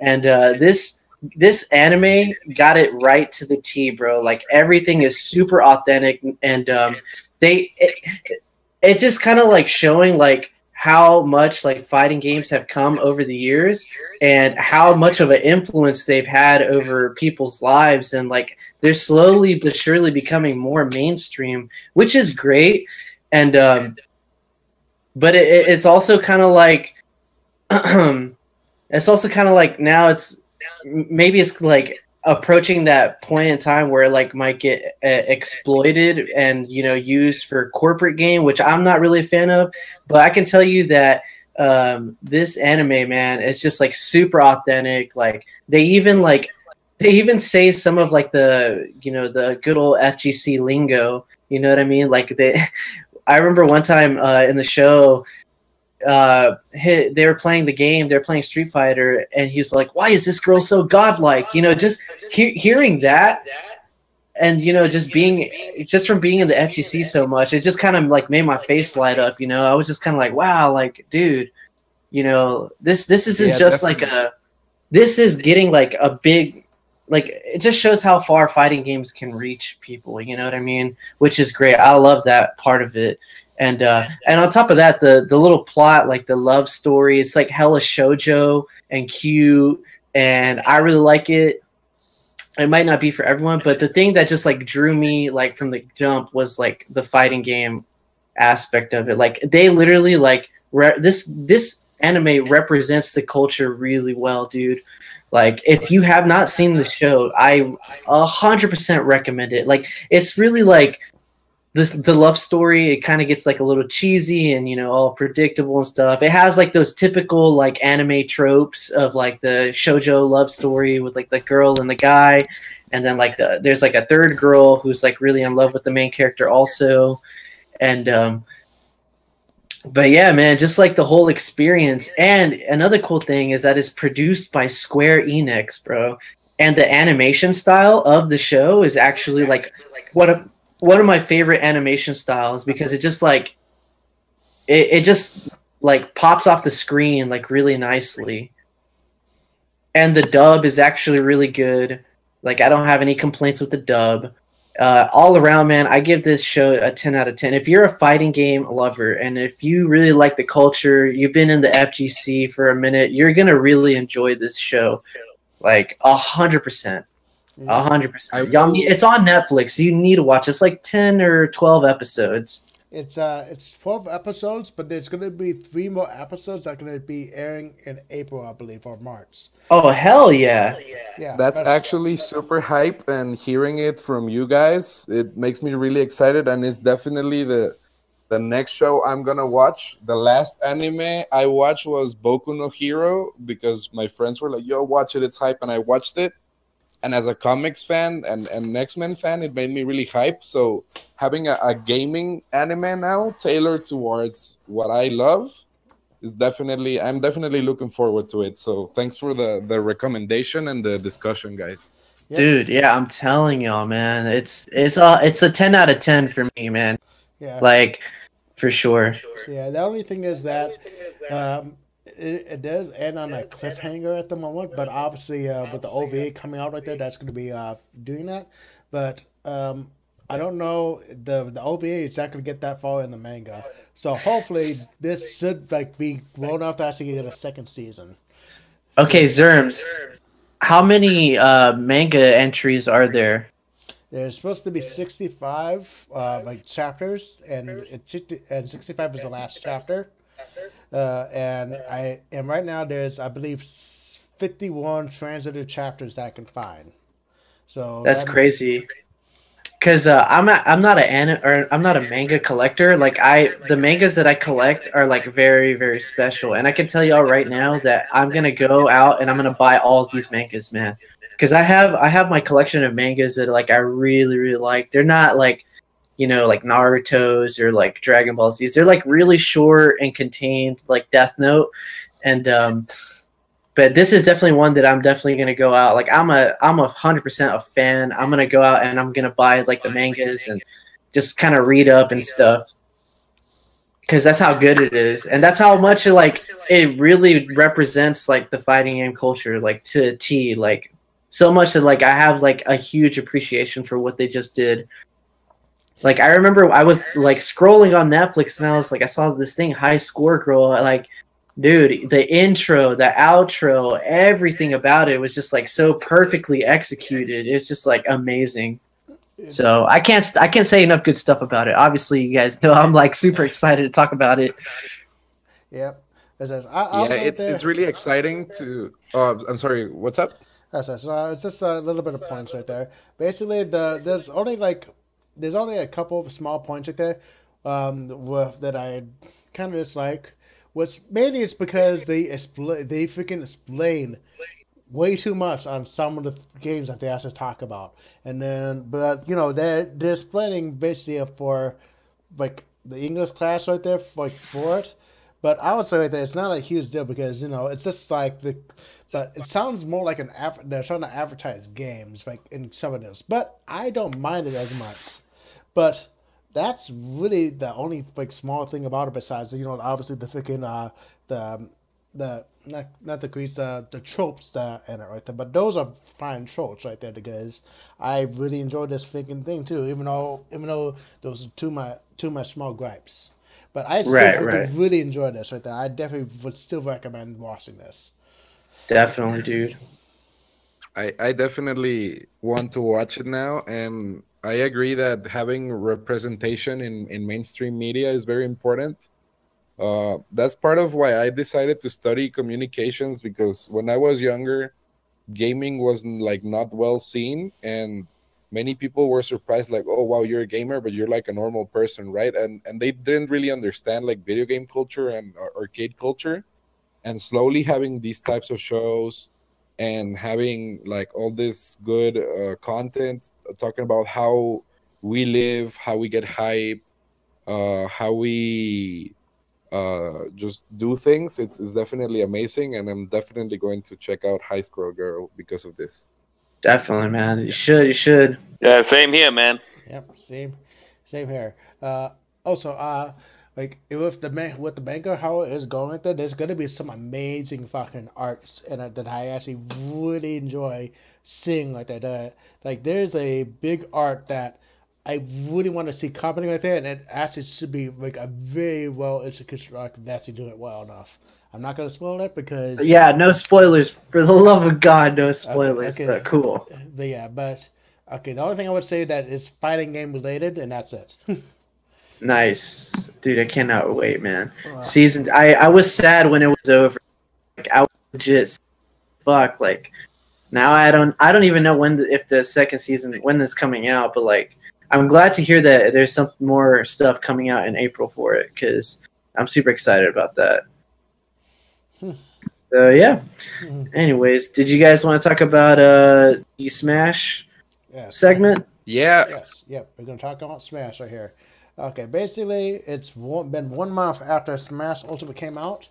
Uh, basically, uh, there's been a some interesting things going on with the game right there. One with uh, the tournament results for the game. Uh, other ones with uh, various like a level like tier list right there for the game, and then basically what people consider what actually it's what people consider being a viable character. Like if to have a, a certain move right there means that you're going to be viable in high level play. Uh, basically, let's uh, talk about um, let's talk about Leffen's first month tier list real quick. What's his? Um, yeah, I'm just gonna link the image real quick. Just give me a second. Oh, c- can I share you guys a, th- a tweet that I saw very relevant to this? So we Go can- for it, bro. Yep, So uh, the Max Ketchum, he's a, a tournament organizer and commentator and player for for Smash. yes. He tweeted out the the characters that have won tournaments, and it's actually pretty interesting. Uh, we see a Snake with MVD, Fox with Light, uh, Tweek won a tournament using Chrom, Donkey Kong, and Wario. Ken won a, a tournament using Sonic. Gluttony in France won a tournament using Wario. MK Leo won a tournament using Ike. VoiD won a tournament using Pichu. A guy named Sakurai won a tournament using Wolf.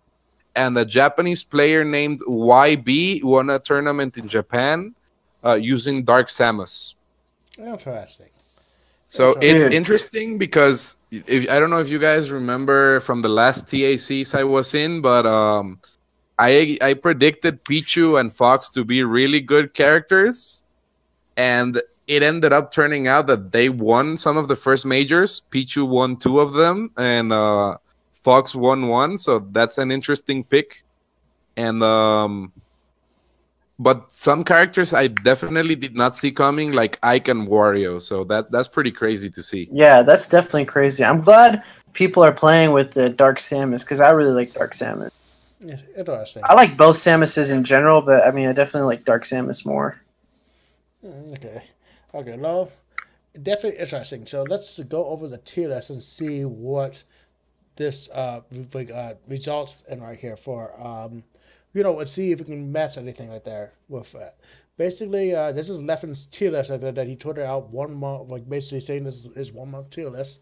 Basically, obviously the characters we we expect right there. Obviously, Peach right there, Pokemon Trainer, Inklings. There's Palutena, Cloud, uh, Pikachu and uh, Pichu, Yoshi, Wario, and DK is up there. Obviously, Which is weird. Yeah, which- Those are the randoms. You know, yeah, those No, they're, they're, it's actually not weird because Wario and Donkey Kong both have very strong combo games and mobility, and they have really safe pressure and really high damage. So they're just like a very all-around characters. Imagine Ryu, but instead of throwing Hadoukens, he threw bricks at you. Damn. like just just very solid gameplay and for example um, they both have like um things that can really shift momentum very hard. For example wario has the the fart attack where if he waits around a minute or so it becomes fully charged and you get a ko with it. And in this game wario has several ways of comboing into that. So it's kind of similar to jigglypuff's rest. And um wario has very very high combo power. And and we see it because tweek won a tournament in the us with wario and gluttony won a tournament in europe with wario so that's two majors for wario that, that's that's pretty impressive That's and donkey impressive. kong is just like a grappler on crack because he's just super safe and super hard to beat and li- lives a lot but maybe people will figure out the matchup the more the game comes out I think so But I see- too. Yeah, i see wario being a stronger character this this time around yeah, de- definitely that. Um, other things, let let me take a look. Other things that I see right there, I see that he has King K. Rool as a low tier character with a lot of faults. Which um, I think that might be he either really thinks that character is trash like there, or he's just trolling with that. and he also has Chrom like way behind. Well, not way behind, but like a little bit behind Roy. Which I mean, I'm pretty sure Chrom is the better of the two. Just like I mean, I guess it's argue. I guess it's debatable since um, you know, people like to say like Chrom's up B is not that good, but I mean, I still think he's like a little bit better than Roy in terms of racking up consistent damage and not having to have like that weird like spacing gimmick like him like Roy and Marth. Like I I don't understand why he put him behind Mar- uh, Roy. Or maybe Yeah, I- because of his up B in general. It's probably the the recovery side of things that he makes it like he probably figured out that there's combo um that there's more combo potential Mm-hmm. but um i feel that in the tier list chrom is actually above roy it's just that chrom has more faults than roy Ah, okay, I see. uh, I, that's actually kind of what Leffen is saying, I guess. Now that I look at it yeah. more.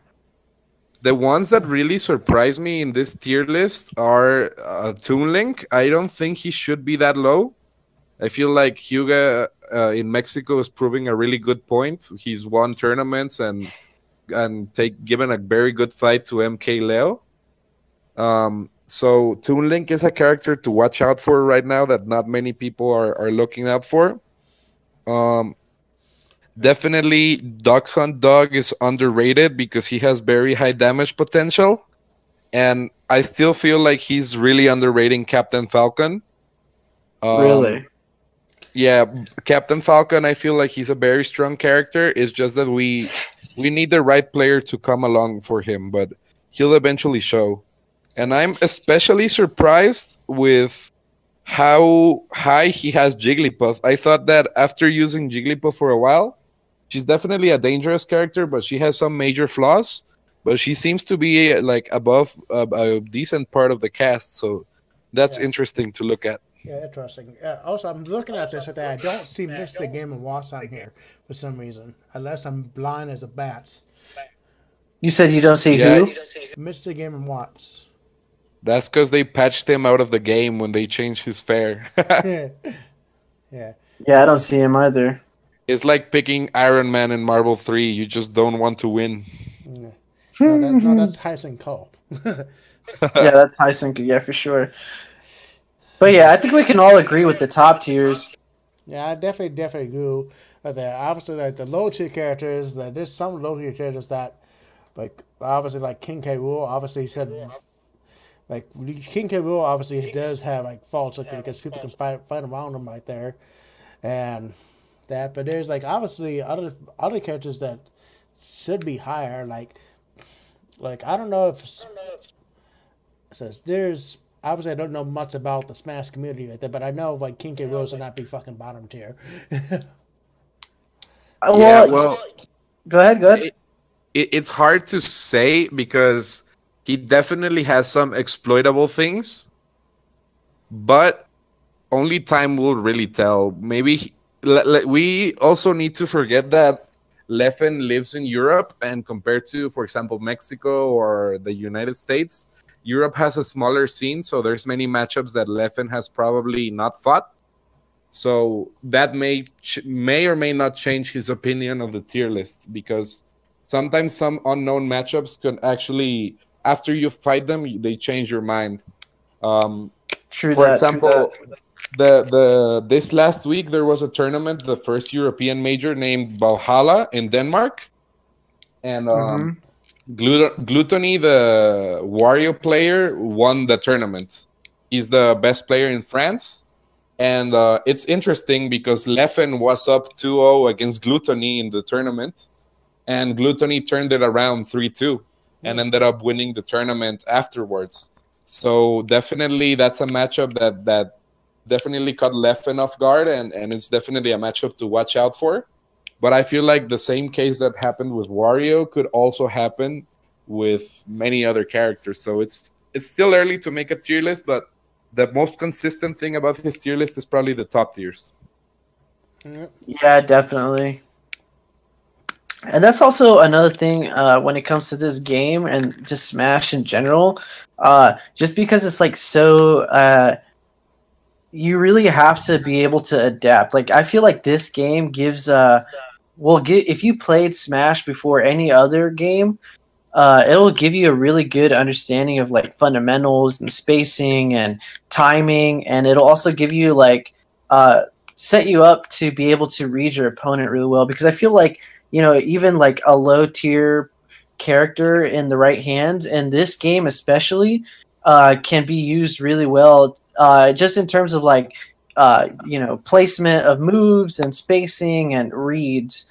Uh, that all comes into play when playing this game, which is why I like it a lot. Like that's why I like Smash a lot uh, because it actually is very. It's kind of really read heavy, and you have to kind of just like get into your opponent's mind. And so even when you do that, like I feel like you can definitely take a low tier character and take them all the way to the top. You know what I mean? Yeah, and there's also things that haven't impacted the meta yet, but eventually will.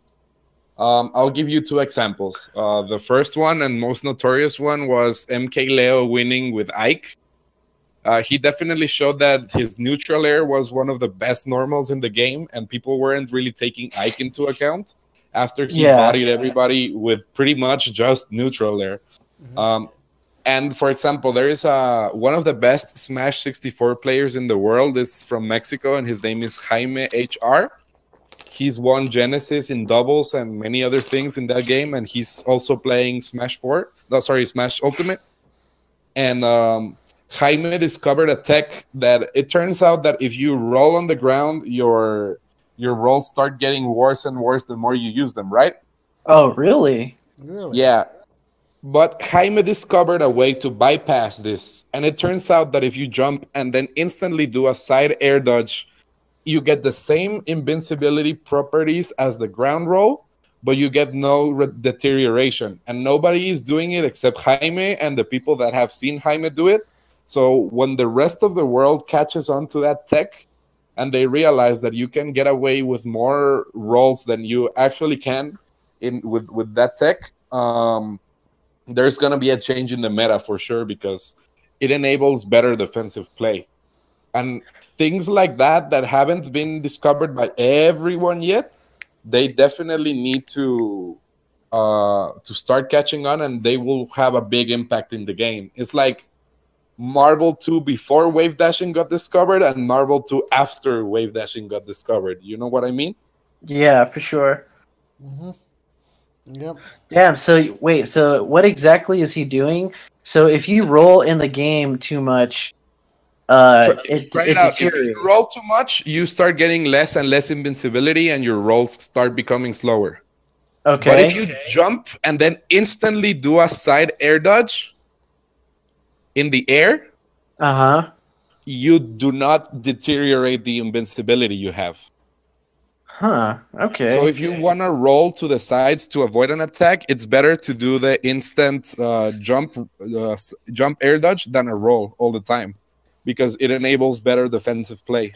Does he have clips on YouTube where he's doing this? Mm, no, but he Dev he streams a lot, so I'll clip it the next time he does it. How about that? Yeah, for sure, man. I want to see that.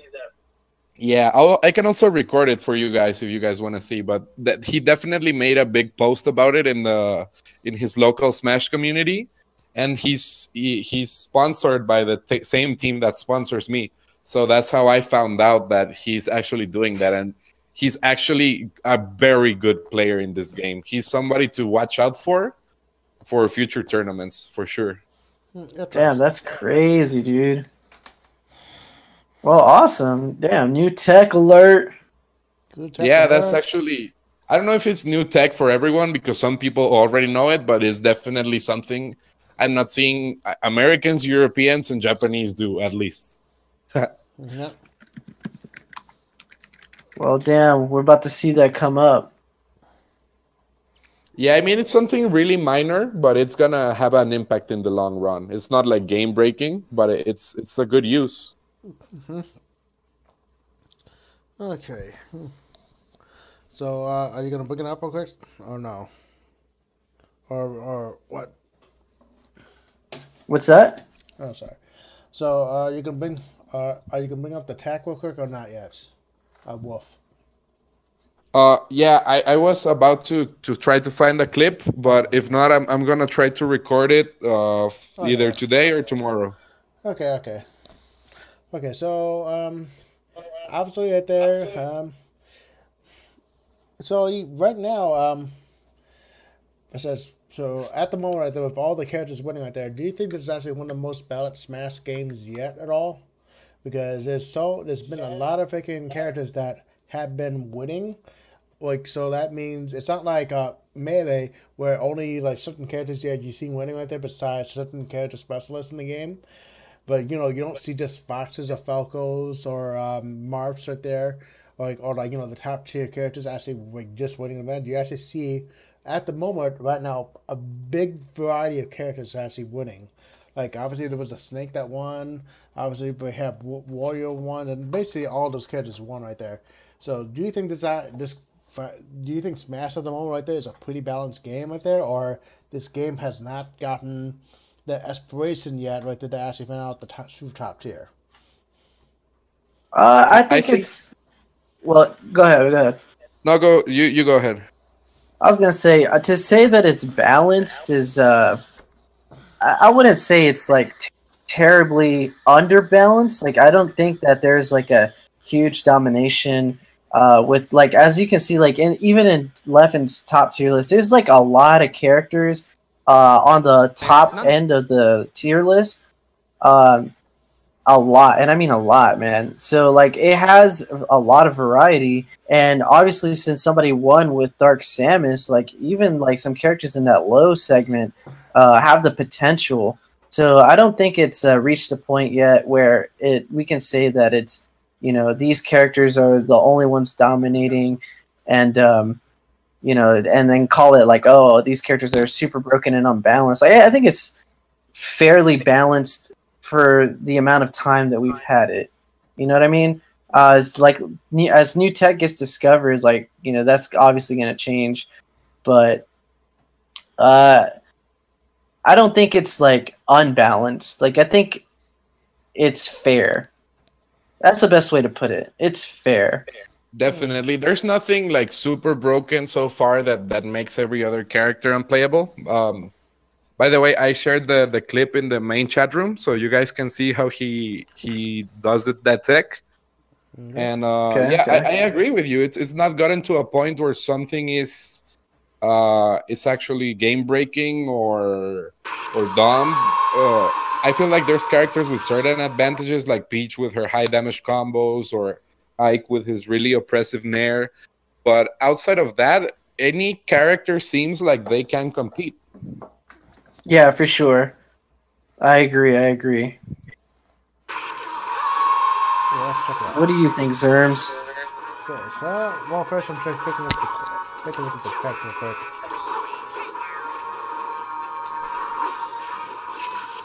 Yeah, he does it. Let me show you in which second of the clip. Uh, I think I found it right there. Looks like it's like. Looks like it's like uh, 16 seconds in. No, it's like 13, 12 or 13 seconds in, right? Yeah, where he does the the air dodge. Yeah. Yeah, that's where he does it. Yeah, what's the I'm about to slow this down real fast. Okay, so let's slow it down real quick. Okay, so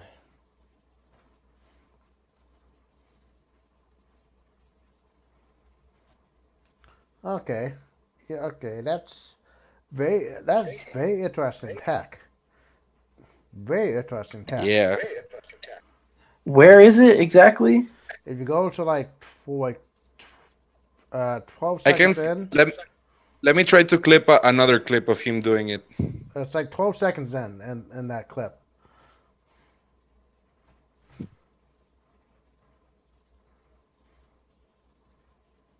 I'll find you another one with Ganondorf's air dodge. Is he? It's easier to see because he he also he plays uh, Captain Falcon, Ganondorf, and King K. Rool, and he's actually a very dangerous player. Yeah, I couldn't really catch it. I'm not really sure where he's doing it. Well, it's it's at 12 seconds in. It's basically right after he gets hit right there. You see him like air dodge, like land, and then immediately air dodge, and then recover. Then he hits um, him after hits the enemy afterwards. He basically he gets hit. He uh like, uh, like lands air dodges and then hits him afterwards. And it's after uh it's after like uh, he ki- kills him, but the the enemy wants, and when the enemy comes in. I'll try to get a cleaner clip of it. Okay. Okay, okay, but that's all I said later. Okay, so um, definitely is gonna be a lot of tech to, to be discovered, and everything like that. It's definitely gonna be interesting. Okay, um, let's go on to the next one, which um is gonna be um Granblue versus Fighting. Uh, Granblue versus Fighting is a new fighting game by Arc System that got announced like last the the end of last year. That basically is a simple fighting game based on the Granblue anime series that uh, has been airing a while, like airing like uh, last year. or So that it's actually a pretty interesting thing because it's an anime fighter, but it has more traditional anime fighting techniques like uh, a la to Street Fighter, where basically it's more like um, for what we know about it, it's more like a traditional fighter, where it's basically like footsie battle right there. You're not heavy, uh, not complex combos and everything like that, and basically simple things for for what we know. So um, this is the first time I'm hearing about this game. Actually, I'm about It, to it actually out. sounds really interesting. It's the first time I hear about it as well, aside from the researching it. But every ArcSys game is usually really solid, so it's gonna be definitely very interesting to to. Look for. Oh, this this game. Okay. Yeah, I saw some uh, footage of this game before. So yeah, this game it looks pretty interesting right now because from what it looks like there, it from what people have been examining it right now, it's basically a simple free, a simple fighter that has about uh, you know basically simple uh, simple combo string into a special move with probably a combo in the super something like that. Um, Okay. and looks like there is going to be. Says I would play the trailer, but obviously I don't want this video to get freaking um, uh, like uh, copyright claimed on it, so I so I, so I cannot sell it. It looks pretty cool. I'm watching the trailer right now, and I, I can honestly say, like, uh, I could I could see myself playing this. Honestly. yeah, it looks actually pretty interesting. There's a character called Charlena that actually looks interesting because she's like she's just very fucking short, and and basically Yeah, I'm watching her right now. And she Damn, looks- this game looks hype. Yeah, it looks definitely hype about that. And definitely am definitely checking it, like look look it out.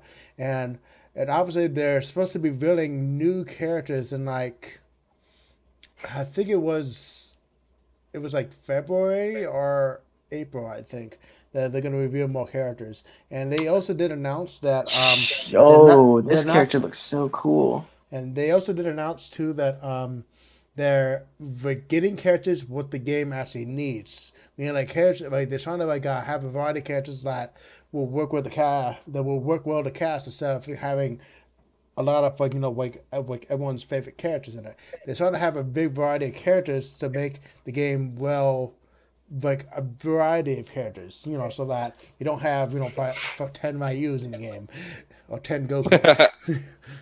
Yeah, yeah. So what makes this a simple fighting game? Like I you said that earlier, like what are they trying to do with this game exactly? Like they're trying to make it a simple fighter. What does that mean? Well, basically, from from what I remember right there, the oh, the overview right there basically is like a simple fighting game where basically um, there's no like really hell like heavy inputs for one or no.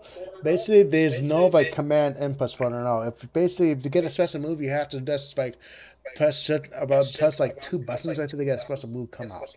This is from what I Okay. remember. So ba- so basically, it's like a very simple fighting. It's like very like very uh, entry level fighting game that people can play. So because they're trying to, for one, remember trying to uh, get the cast like trying to people trying to get the people that play the mobile game into this game right there and try to have them so that they don't immediately freaking leave because it's too hard to freaking play. Which is like, what the fuck? Right, right. I feel like that's a, a that's an interesting move because sometimes simplifying games makes it so that newer players feel more welcome, kind of like DBFZ, but it still creates a skill gap. So it, it's it's interesting to see how it's gonna work out because uh, removing the execution barrier is definitely very interesting. Yes, uh, but this is this is this is what all I know about it. Obviously, uh, I had to I had to find more information about it just to make sure. Uh, that's oh yeah, here we go. This is okay. I'm trying. To, Okay, so the when I think of a simple fighting game, I think of Samurai Showdown. Did anybody play that? Yeah, but that was hardcore. Everybody played it in Mexico, and they they went hard at that. And wasn't there just like a few like button inputs for that?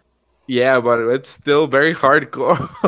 I mean, I can see the like it be, being hardcore as hell like that, but that's what I think. Like you know, like a very simple like button like inputs and yeah, that's You know. actually a, a good example. okay, there's uh there's more info right there. There's gonna be more characters announced in early March, and let me see. Okay, it says here in this article right here that there's a this game has a original story with beginner and veteran friendly play gameplay.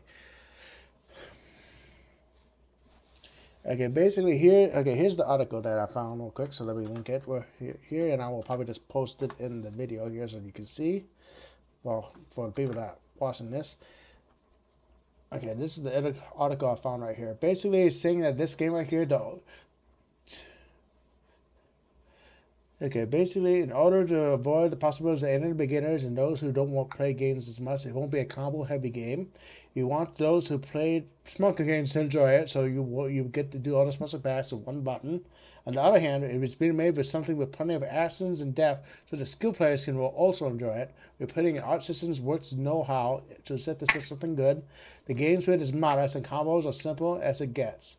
The game is shaping up to be something that lets you do difficult, uh, lets you do difficult elements such as juggling air combos in limited situations. We get to see more. You get to see abilities and charge attacks as skills in the game. For example, Lancelot this is a blazing impulse as his special attack, and he can use West that comes with a cutscene for a charge attack. Um, Grand's ability has different stages of attack increase. Gunner's Light War has a super armor effect that can be used for counters. The other effects based on triple attacks, HP recovery, attribute up, and more. The characters that were announced first are more standard side, but later on we see more announcements featured with different kinds of characters. The team wants to add more characters via DLC, obviously. Brand is a particular based on one from the anime. There aren't any jazz elements. The effects are not that uh, we get to see them some of crystal beasts as a special moves. A lot of focus can be on the story mode, while it's an original story for those who aren't familiar with the Granblue series. There are some elements that will make it more enjoyable for who has played through the events from the original series. Since there are people who don't like the idea of winning or losing, the continuing way of playing could take care of that. So, so they're basically making it so that there's a mode where you don't like do like nothing will happen if you win or lose. So it's I don't know how they're going to implement that. They will have online versus support. We're planning for player matchmaking and rank matchmaking. We're thinking about releasing on Steam, and arcade version is also in the consideration. Development is about 60 percent complete. Interesting. And the fundamentals are pretty much done, and from here on we get a straight stays of increasing quality. So yeah, so that's basically that. Also, the reason why we Cygames went with Arc System was because the Guilty Gear series and BlazBlue series have a style that fit with the Granblue Fantasy, because you know art style. So yeah, that's For sure.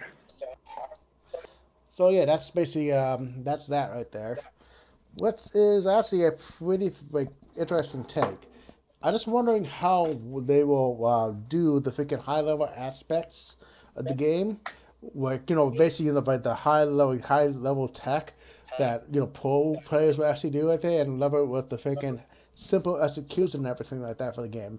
So it could be that this game could be like a very um, simple ass street fighting game where basically you rely on footsies or everything like that, or it could be something like a light version of Guilty Gear where it's rushdown heavy, but not but you can actually play the game if you get hit.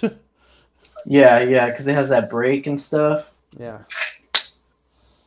Hmm, That's, that, that's an interesting game. I'm actually, I'm not really into anime fighters. Um, just because like, BlazBlue and like, um, uh, let's just see. I, I tried Persona Arena and then I tried uh, what's it called? What's that one that just came out? BlazBlue Tag.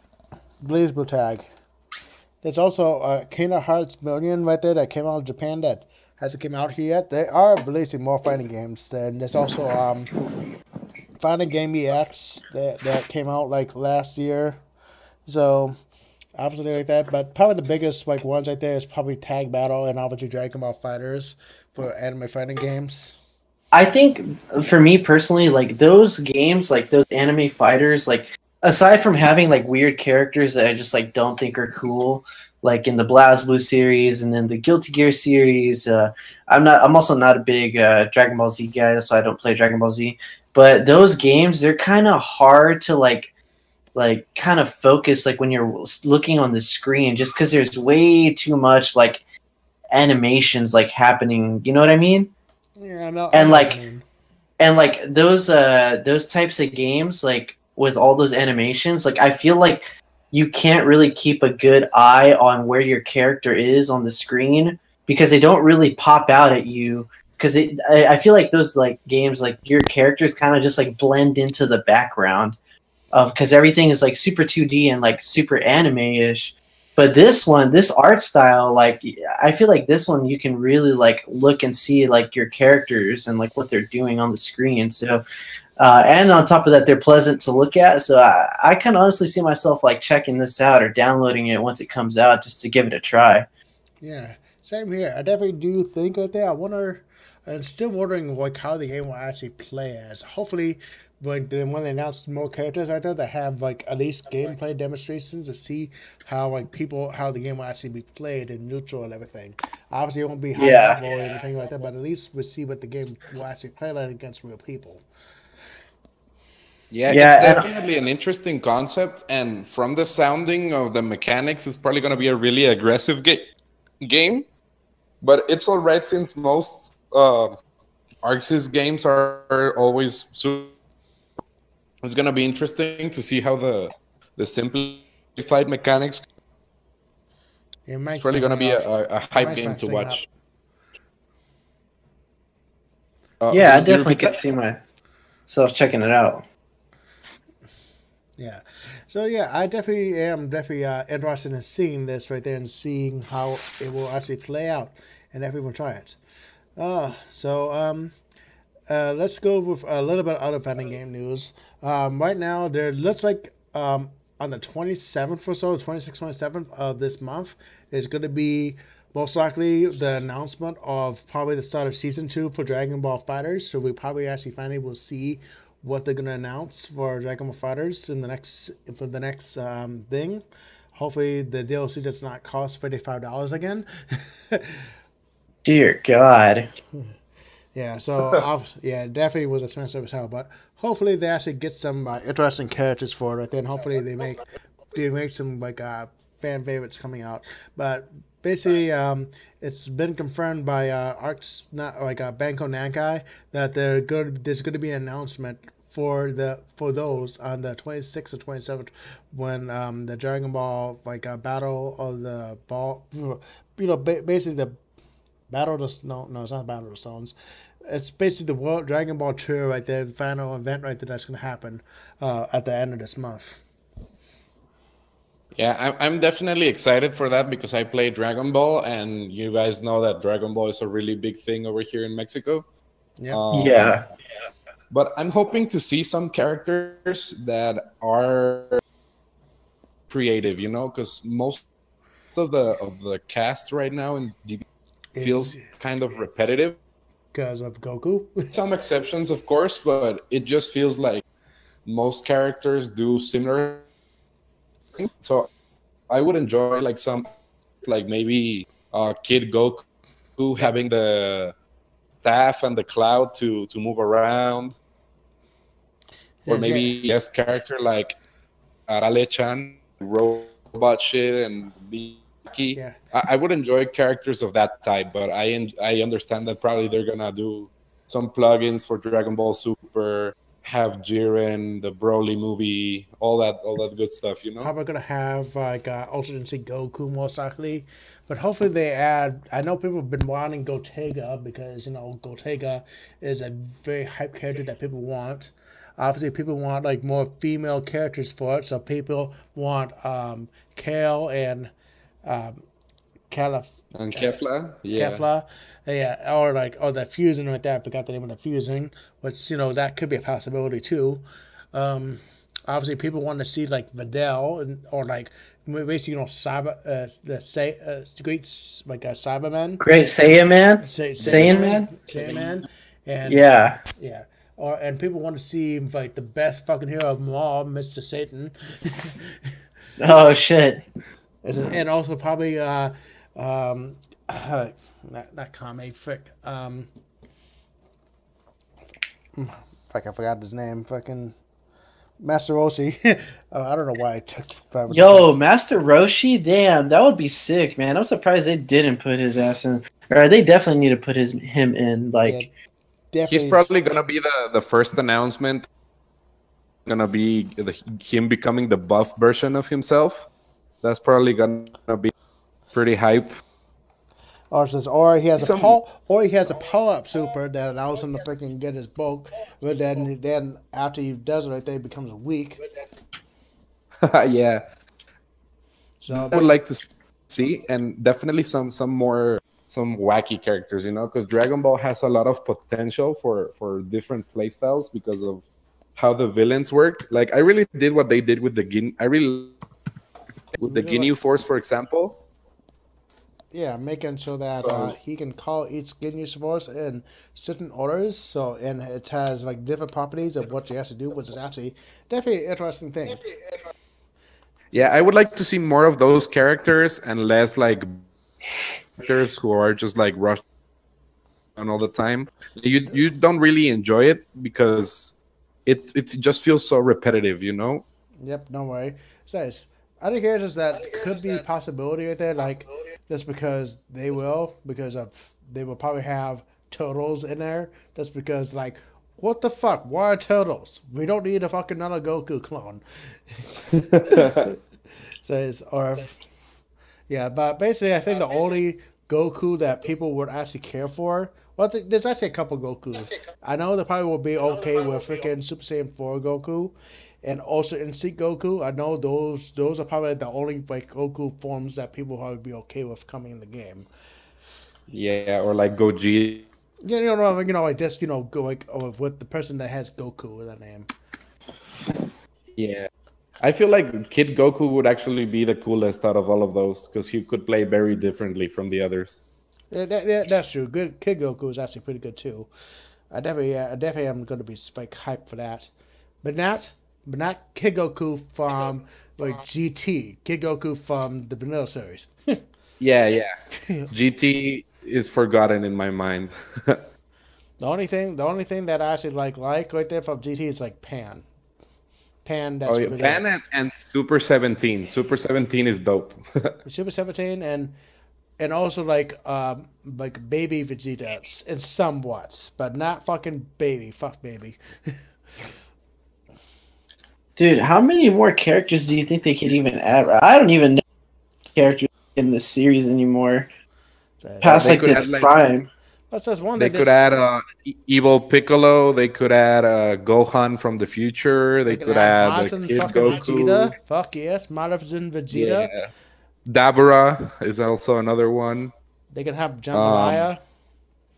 Oh yeah, Janemba. uh, who else? They could have like uh, they have super. How about Android? Android thirteen. Android thirteen. The, Yeah. the old guy, the old android. No, oh no, that's Andro- that's Doctor Gero. No, no, like Android 13 right there is the trucker guy from like if you actually watch the Dragon Ball Super at all. I mean the Dragon Ball Bridge right there. There's a movie right there, and he's he, he's basically oh my trucker hat. So, and basically, I, I, I don't, I would, wouldn't mind right there, if like sing, sing that. And say, um, obviously there's like more characters for it right there, but we will figure out what they are and by near the end of the month. So, um, let's see. The only other news right there that I know of right now is basically there's a new balance patch for like uh, Street Fighter Five for the new character, Cades. It looks like interesting with the changes that they have on it, and they actually buffed some very freaking like interesting characters, and they just fucking made Ken, Ken commit suicide. Yeah, that's annoying. That's why I don't. And Yeah. the Street Fighter Five's like balance patches are just like, what are these people thinking, dude? Like, they just like buff all the wrong characters and nerf all the wrong characters, and then they take characters that like people want to actually play as, and they just like, you know, like stomp on them, spit on them, and then they throw them in the trash, and then they pick them out of, of the trash, and then they just hand them to you like, here you go, like.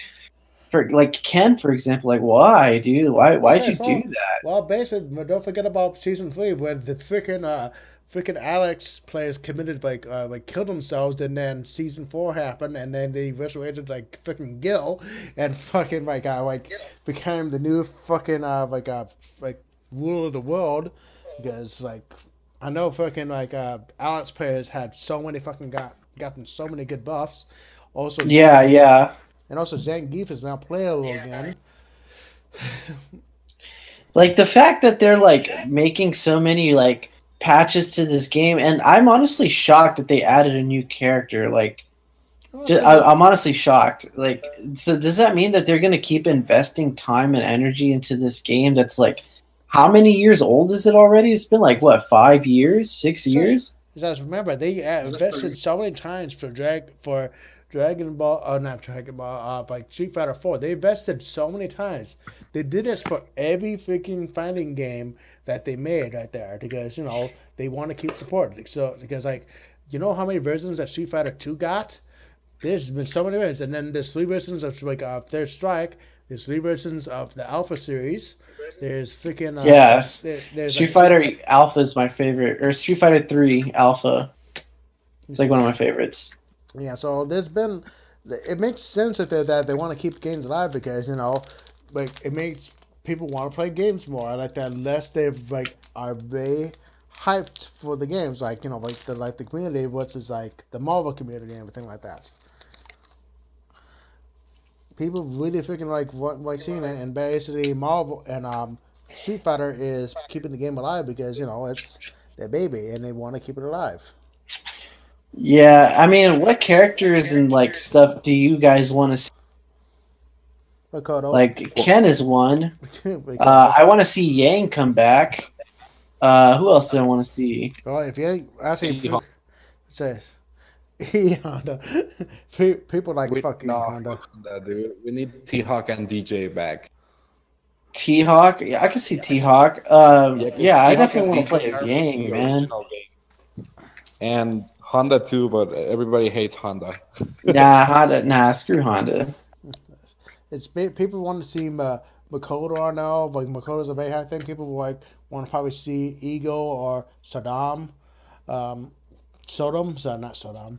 Sodom. Um, people probably want to see. Uh, people want to probably see characters that they haven't seen much before, or like um, people probably want. I think people want to actually see more uh, uh, Decapre because I think Decapre was a very interesting addition for it. People probably want to see. Yeah. Um, let's see. There's probably been a freaking ton of characters for it right now.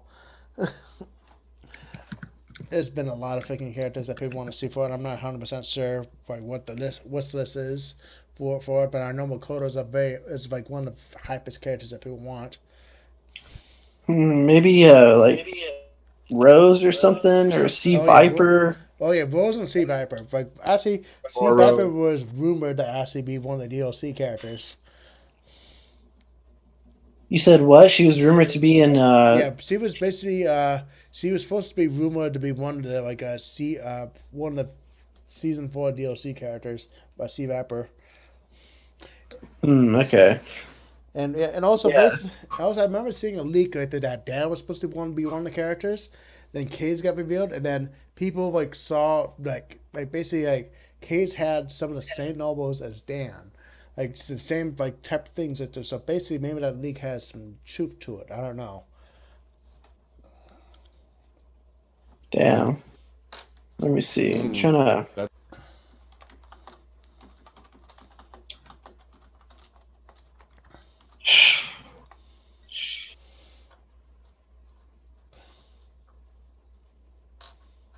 Who's another great character from Street Fighter that I want to see, man? I don't know. There's so many, dude. There's so many characters like I can't even like remember how.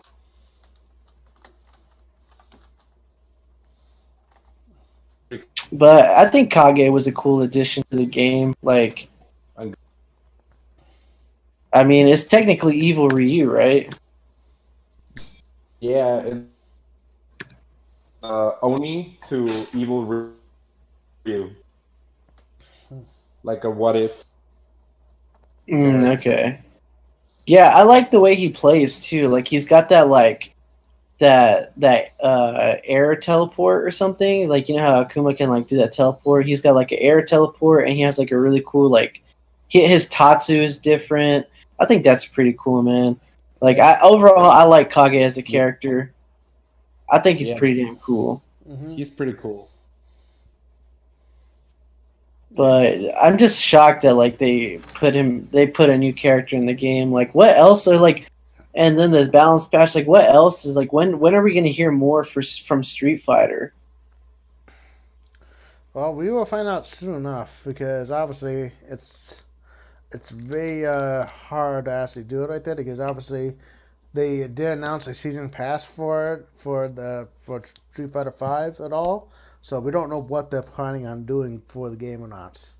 So we have to just wait and see what they're gonna do for it. Gotcha, gotcha. Yeah, so, Oh yeah, yeah, that's that's cool.